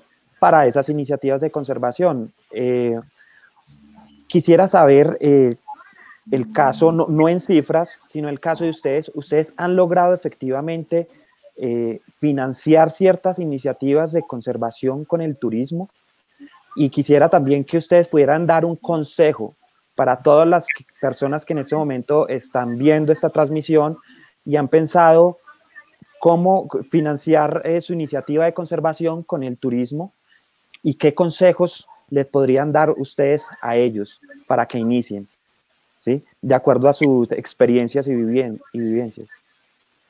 Bueno, en primer lugar, eh, nosotros seguimos como estructurando bien porque a veces uno, y especialmente en Colombia, uno puede recaer en temas de donaciones, en, en algo que, que, no es claro para, para, para la gente, cómo donar y si es seguro, y sí, en Colombia todavía hay cierto escepticismo en, en cuanto a esto. Eh, en este momento, te pongo un ejemplo, eh, hay un glamping que se llama Corocora Camp, y el glamping está apoyando eh, procesos de conservación acá a través de la Fundación Naguaro. Entonces estamos haciendo con ellos eh, un programa de monitoreo con cámaras trampa y estamos eh, apoyando en iniciativas de conservación en la, en la, Reserva del Encanto de Guanapalo. Sin embargo, eh, yo creo que también no hay que hacerse una expectativa que esto, obviamente, uno va a conseguir muchísimos recursos para ello, realmente eh, son, son los recursos específicos. De pronto hay alguna persona, eh, un filántropo, que, quiera apoyar en, con, una, con, una, cantidad representativa, pero, pero realmente eh, no es tampoco eh, una fuente principal para sostener un proyecto de conservación. Entonces eso es muy importante que lo tengan en cuenta porque, porque un proyecto de conservación y además si uno quiere darle una trayectoria y quiere además trabajar en un territorio con estas características tan grandes y con especies tan complejas a veces para, para detectar, etcétera. Entonces, eh, pues obviamente se, se, vuelven proyectos costosos.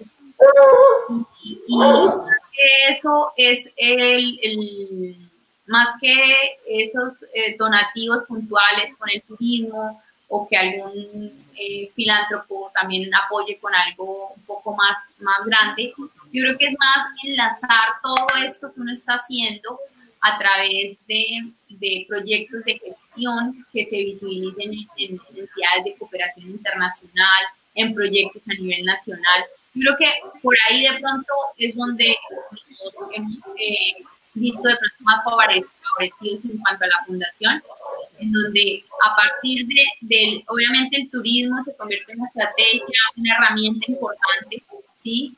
Pero no es el, solo, el único fin de conseguir los recursos, sino también pues todas las actividades complementarias que desarrollamos en pro de la conservación, la academia, eh, demostrar esa investigación, todo eso hace que entidades nos hayan apoyado. Entonces aquí hay como un mix de cosas en donde pues, estamos trabajando en la fundación, trabajamos también en las actividades turísticas, las comunidades hacen, eh, están beneficiadas tanto con proyectos eh, de cooperación, de investigación, como directamente los turistas lleguen y apoyan también esto.